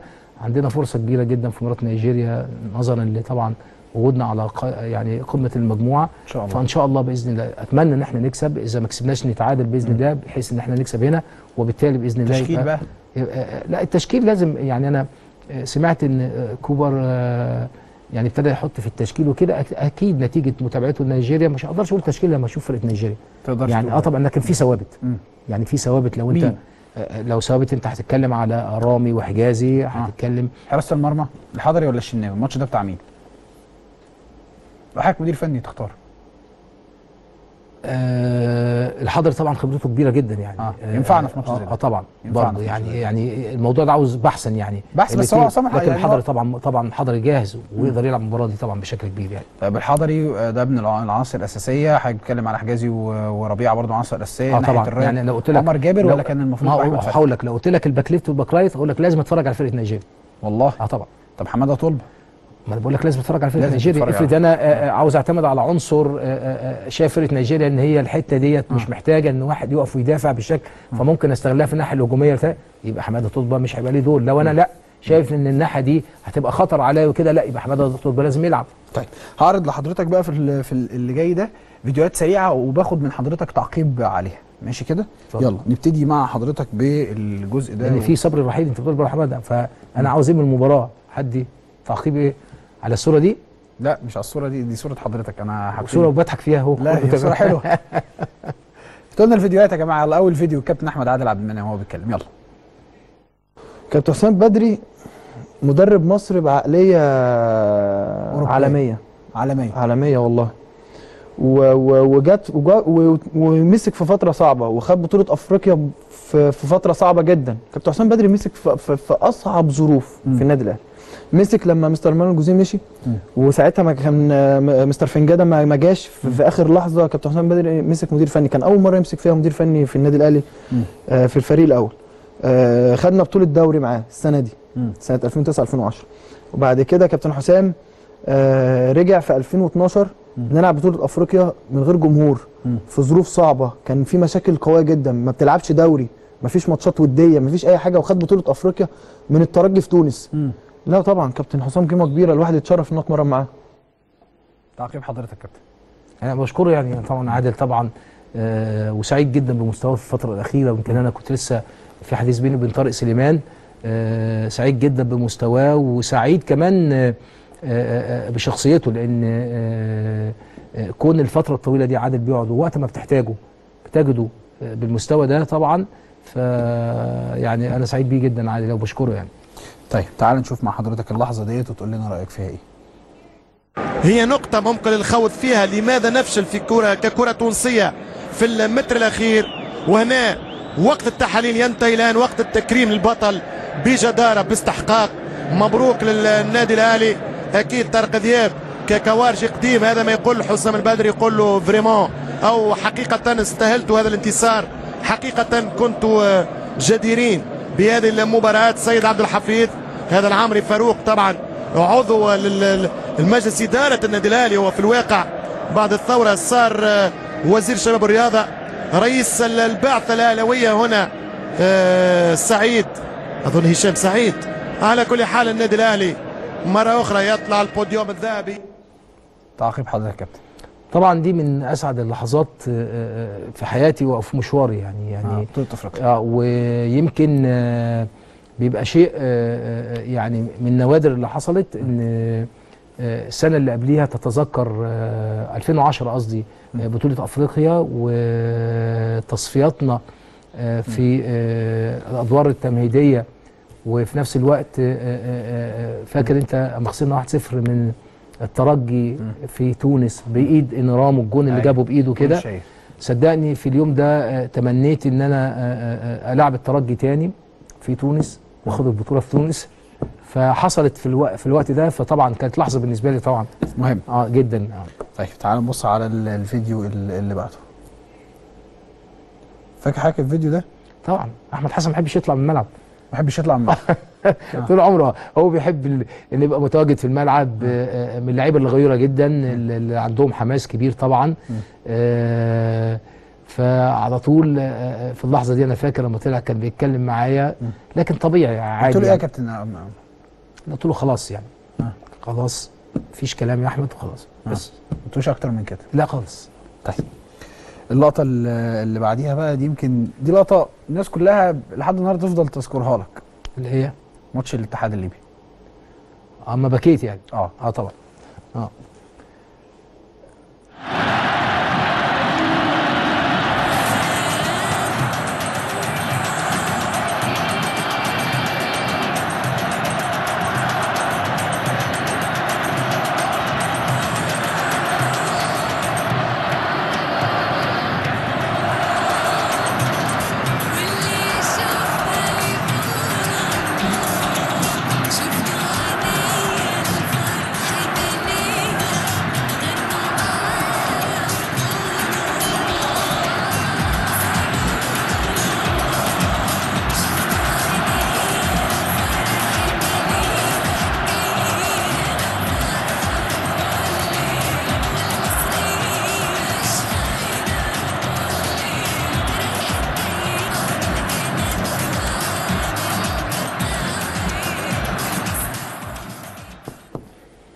الشديد القوي هو اللي يخلي الكابتن حسام طبعا البدري طبعا. هي هي الفترة ديت آه، طبعا آه، خلي بالك يا إبراهيم طبعا في مباريات آه، جماهير النادي الأهلي بتتذكرها. آه. آه، النادي مش. مباراة آه. مع حسام بدري بس آه، مباراة الاتحاد الليبي طبعا أحد هذه المباريات جماهير النادي الأهلي. ومباراتنا في تونس طبعا آه، النهائي اللي هيفضل جماهير الاهلي بتتذكرها إيه عمرنا ما شفنا الكابتن حسام بدري بيبقى أعتقد أصلا حضرتك ما عملتهاش أصلا لا قبل كده. لا خالص. آه. لكن هي آه، الفترة ديت وصعوبة إحنا كنا خسرانين في ليبيا آه. في ليبيا 2-0 وفي نفس الوقت آه، أنا متذكر آه، كنا معسكرين للمباراة ديت. وكان لابد إن إحنا نفوز 3-0 عشان آه، نتخطى الدور ده. وأتذكر إن الكابتن الخطيب آه، جالي في المعسكر في آه، 6 أكتوبر. وطلبني يعني فكان عندي محاضرة فبلغت هذه يعني بعد المحاضرة هروح أقعد مع الكابتن الخطيب ورحت قعدت معاه فقال لي أنا جاي لك طبعا وأخبار الفرقة إيه تمام وكده قال لي أنا بقول لك بنقل لك رسالة. آه. أنت تحت أي ظروف أنت مكمل لأن كان الإعلام وقتها بيتكلم حسام البدري لما. تأهلش المباراة ده صحيح. مش هيكمل هيتم إقالة حسام البدري هيتم آه، إنه آه، من عند الاستعانة مع من مدرب تاني. آه، المباراة كانت صعبة آه، آه، من أفضل يعني من من المباريات المميزة جدا. آه، للنادي الأهلي في الأداء وفي الشكل الخططي وفي التغييرات اللي تمت. صحيح. التغييرات اللي تمت أنا تملي بتذكرها كده ومن الحاجات اللي بتخلي الواحد يعني آه، آه، يستمر يعني- بال- بالدعم لا, يعني والنصيحة. حط الحاجات دي في مخه لأن هتيجي مباريات كتير. هعمل نفس التغييرات بالشكل دي اللي غيرت المباراة بشكل كبير جدا. فعشان كده يمكن تحولت لبكاء بقى هي طيب. آه. هاخد بقى مع حضرتك سريعا كده صور وبعدين عندي أسئلة برضو كلها آه، سريعة. صورة وكل صورة حضرتك هتوجه لها آه، رسالة. طب الأول الأسئلة ماشي. ما جراش حاجة ما جراش حاجة. خليكم زي ما أنتم أفضل فترات عملك في النادي ال- الأهلي. لما كنت حضرتك آه ك... آه كمساعد لمانويل جوزيه في الولايه الثانية كمدير فني في ولايتك الأولى كمدير فني في ولايتك الثانية الثلاثه مهمين جدا بالنسبة لي يا إبراهيم. حضرتك هتختار حاجة. الثلاثة مهمين جدا بالنسبة لي يا إبراهيم. لكن أكيد لو هتقول لي كده هقول لك آه، آه، الولاية الثالثة لأن حققت فيها آه، آه، بطولة أفريقيا اللي هي طبعا دي بتبقى برضو وسام على صدر أي آه، آه، مدرب وبالذات مع النادي الأهلي مم. يعني بطولة أفريقيا يعني فيمكن هقول الولاية الثالثة لكن الولاية الأولى مميزة جدا بقى التانية يعني بقى. الثانية. مع آه، آه،. آه طبعا ماشي أسوأ آه قرار أخده الكابتن حسام البدري من وجهة نظره كان الرحيل عن النادي الأهلي ولا عدم آه ضم جون أنطوي ولا التعاقد مع محمد غدار لا خلي بالك آه، آه، جون انتيو أنا ما كنتش موجود أنا ما كنتش موجود ما كنتش موجود ساعة ما جه واختبر في النادي الأهلي. أنا كنت في أجازة وكان الدوري موقوف. آه، كان في منتخب وكان شافوا مين ساعتها وحكم لا؟ مش هنقول على اسماء بقى كان يعني جهاز المساعد اللي كان موجود معايا وما جيت أنا كان. آخر يوم الوكيل كان محدد له آخر يوم آه. لأن لابد كان في فترة قيد وكان لابد يعني النادي الأهلي يدي رأيه فيه يا إما يروح اختبار في النادي الثاني فالمساعدين اللي كانوا موجودين معايا قالوا لي إن جون أنطوي آه، يعني آه، يعني مش هيفيدنا قوي. فبالتالي خدت القرار على كده. برضه آه، غدار غدار بالنسبة لغدار بترجعني أنت ذكريات. كان برضو القيد هيقفل وإحنا ما عندناش راس حربة. فمحتاج. آه وغدار كان بيلعب في لبنان. فإحنا خدنا رأي كابتن زيزو هو كان مدربه في في النجم. في النجم اللبناني آه فكابتن زيزو أشاد بيه حضرتك برضه جاوبتنيش على السؤال بس أفضل لاعب لا ما هو. أنا بقول لك كابتن زيزو أشاد بيه لا حضرتك بتقول أنا كنت بسأل حضرتك آه، أفضل- قرار إيه؟ أسوأ قرار إيه؟ الرحيل على الأهلي ولا عدم ضم الرحيل على الأهلي طبعا. الرحيل على الأهلي. طيب. أفضل لاعب تعاملت معاه في النادي الأهلي؟ كتير. حضرتك هتقول لي اسم آه. واحد. جمعة. نهار أبيض، أنت بتصعب الأمور كده. والله يرحمه محمد عبد الوهاب. هو أطيب واحد طبعا محمد عبد الوهاب يعني أطيب يعني واحد آه، كان أطيب واحد آه، لكن آه، هيبقى صعب المقارنة بين أبو تريكة ووائل جمعة واحد واحد صعب المقارنة بينهم اول الاثنين مميزين يا إبراهيم. صدقني والله خلي بالك أنت مالك كنت بضرب مثل بيهم طيب. لأن حتى انت عارف إحنا في النادي الاهلي لابد نيجي الصبح نقعد على الدكة شوية كده. لو تشوف التزام وائل وابو تريكه لحد النهارده لحد النهارده الاثنين ملتزمين لا في لحد التزام لا وائل جمعة ملتزم ولحد النهارده أبو تريكة ساعدوني ملتزم. ساعدوني كتير جدا خلي بالك دول برغم إن أنت ناس بتقول بقى آه. دول ساعدوني مع الفرقة كتير جدا الاثنين دول آه. يعني ابو تريكه ووائل جمعة ساعدوني فلا مش هقدر. مش هتقدر. خلاص ماشي. أنا هعفي حضرتك من السؤال ده. بس كده مش مش, مش هقدر اعفي حضرتك من الأسئلة اللي لا جاية؟ عارفيني من السؤال بتاع طيب. ابو تريكه و... هن هنعدي بقى بسرعة كده. هاخد برضو حضرتك تقول لي اسم وحيد لأن أنا برضو لسه عندي كمان آه، آه، رسائل. مهمه عاي- عايز حضرتك توجهها. أفضل لاعب آه، قلنا خلاص. أكتر لاعب أرهقك كمدرب من هؤلاء أحمد حسن ولا بركات ولا سيد معوض؟ أنتوا صعبين أرهقني؟ آه يعني آه، تعبك في بص الثلاثه دول خلي بالك صعب في التعامل. مميزين جدا ويمكن هختار واحد تملي أنا بشيد بيه. آه. آه، وبإمكانيات إنه صعب يتعوض في النادي الأهلي برضه. آه. يعني أحمد حسن صعب بركات لكن سيد كان بيزعل على طول. لكن أنا كنت بعرف أتعامل مع سيد معوض. آه. سيد معوض سريع الانفعال. ماشي. لأنه طيب جدا. يبقى ده تمام؟ فكان ده بياخد بيه سيد لازم وقت. آه آه لازم أكلمه كتير. لازم أعرف إمتى. آه طبعا لأنه كان بيزعل على طول سيد. أفضل محطة تدريبية غير النادي الأهلي المريخ السوداني ولا الأهلي الليبي ولا منتخب مصر الأولمبي؟ أفضل. لا المريخ السوداني طبعا. المريخ السوداني. أفضل لاعب أفضل لاعب مصري. حضرتك عاصرته عاصرته كلاعب ومدرب. طب الأول ماشي ماشي. أنا من عندنا حط. حط الحضري بقى. أفضل حارس في مصر. أحمد الشناوي ها. لا أنت في مصر بتقول عص- عصيرته لا لا لا أهو أهو أهو. الشناوي. ولا شريف إكرامي ولا المجد سليمان. أفضل حارس في مصر. لا شريف الأفضل طبعا. شريف آه الافضل في الثلاثه يعني لو جبت لي الثلاثه دول هقول شريف الأفضل طبعا. شريف شريف إكرامي طبعا. طيب يلا اللي بعده. أفضل لعيب بقى حضرتك عصرته مين؟ بيبو أبو تريكة بركات أيوة. ها؟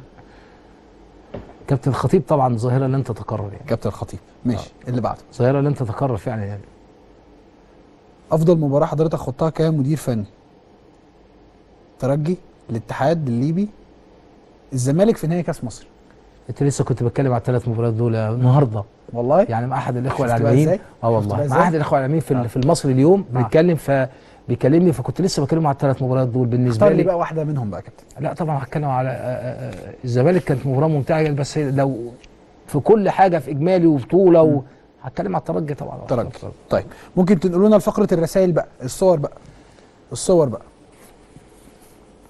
يلا. مانويل جوزيه ده حضرتك أحمد درويش اللي عامل لي كل الاختبارات الصعبة دي ولا مين ولا؟ في اشاوس أحمد درويش طبعا طبعا أحمد درويش. طبعا منهم طبعا يعني لازم يصعب آه. الأمور ها؟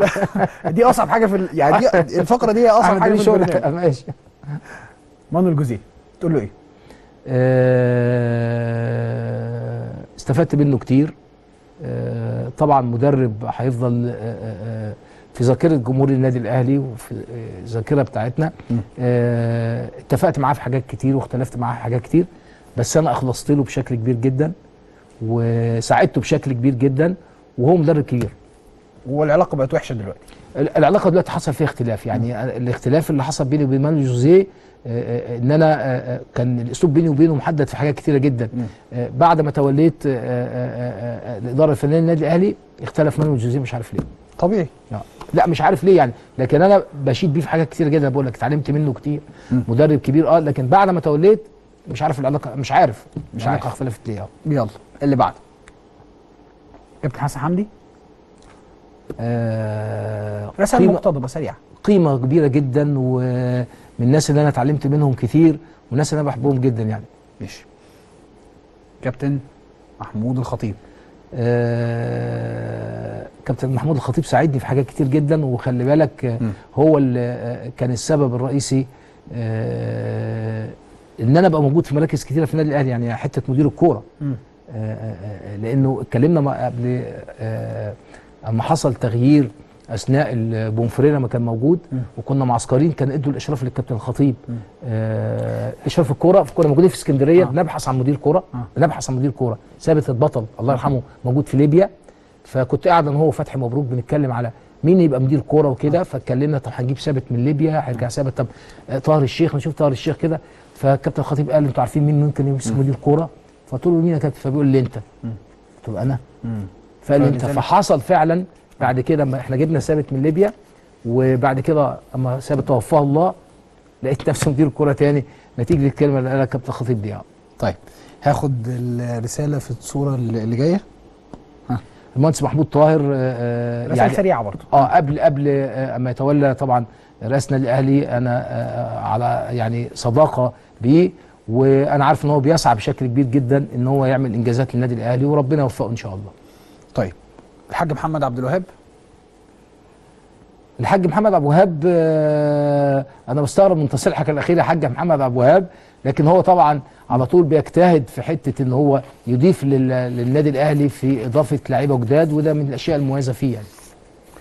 كابتن حسام أنا عندي صورة الحقيقة ما عرضتهاش بس مهمة جدا إن أنا أعرضها لحضرتك. صورة جماهير النادي ال- الأهلي تحب تقول لهم إيه؟ فعلا مفتقدينكم. يعني آه، برغم إن أنا مش موجود في النادي الأهلي دلوقتي لما مفتقدين فعلا جماهير النادي الأهلي.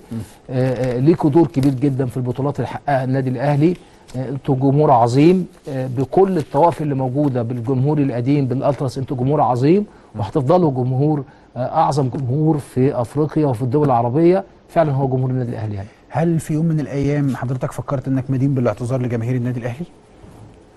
لا لو كنت عملت أي خطأ لكن أنا على طول بحبهم وعارف إن الحمد لله إن جماهير النادي الأهلي بتحب حسام البدري الحمد لله كابتن حسام أنا بشكر حضرتك شكرا أنا بشكرك جزيلا جداً،. شرفتنا ونورتنا أنا اللي. سعيد وبالتوفيق وبقول لك حاجة سوبر فعلا وربنا يوفقك دايما كده إن شاء الله ربنا يخليك يا كابتن. حسام الوجهة. المقبلة لكابتن حسام البدري هتبقى فين آه، احتمال كبير جدا تبقى بره مصر. يعني في فعلا؟ احتمال قريب آه. يبقى بره مصر كده بس هنشوف الأسبوع الجاي هتحسم حدد لنا دوري وما تقولش الاسم. لا الأسبوع الجاي هتحسم إن شاء الله يا قريب. إن طب شاء حضرتك. هتقول لنا قبل أي حد؟ بإذن الله إن شاء الله. كابتن حسام بشكر حضرتك. شكرا شكراً. جزيلا. شرفتنا. ونورتنا الله يخليك. كابتن حسام ال- البدري كان السوبر النهارده آه، في حلقتنا حلقة يوم ال- الأربع. إحنا إن شاء الله بإذن الله هنبقى موجودين مع حضراتكم يوم السبت المقبل في نفس ميعادنا الساعة 12 ونص من السوبر. كابتن بشكر حضرتك. شكرا جزيلا إنك شرفتنا ونورتنا. بشكر حضراتكم. بشكركم شكرا جزيلا. وبشكر فريق العمل بالكامل. سهرناكم وتعبناكم لكن الحوار كان ممتع جدا وكان مهم وفي توقيته كل تمنياتنا بالتوفيق لمنتخبنا الوطني إن شاء الله بإذن الله في لقائه أمام المنتخب النيجيري يوم ال- الجمعة. ونرجع يوم السبت وإحنا بنتكلم في الكورة وبنتكلم في منتخب مصر وهو كسبان إن شاء الله بإذن الله.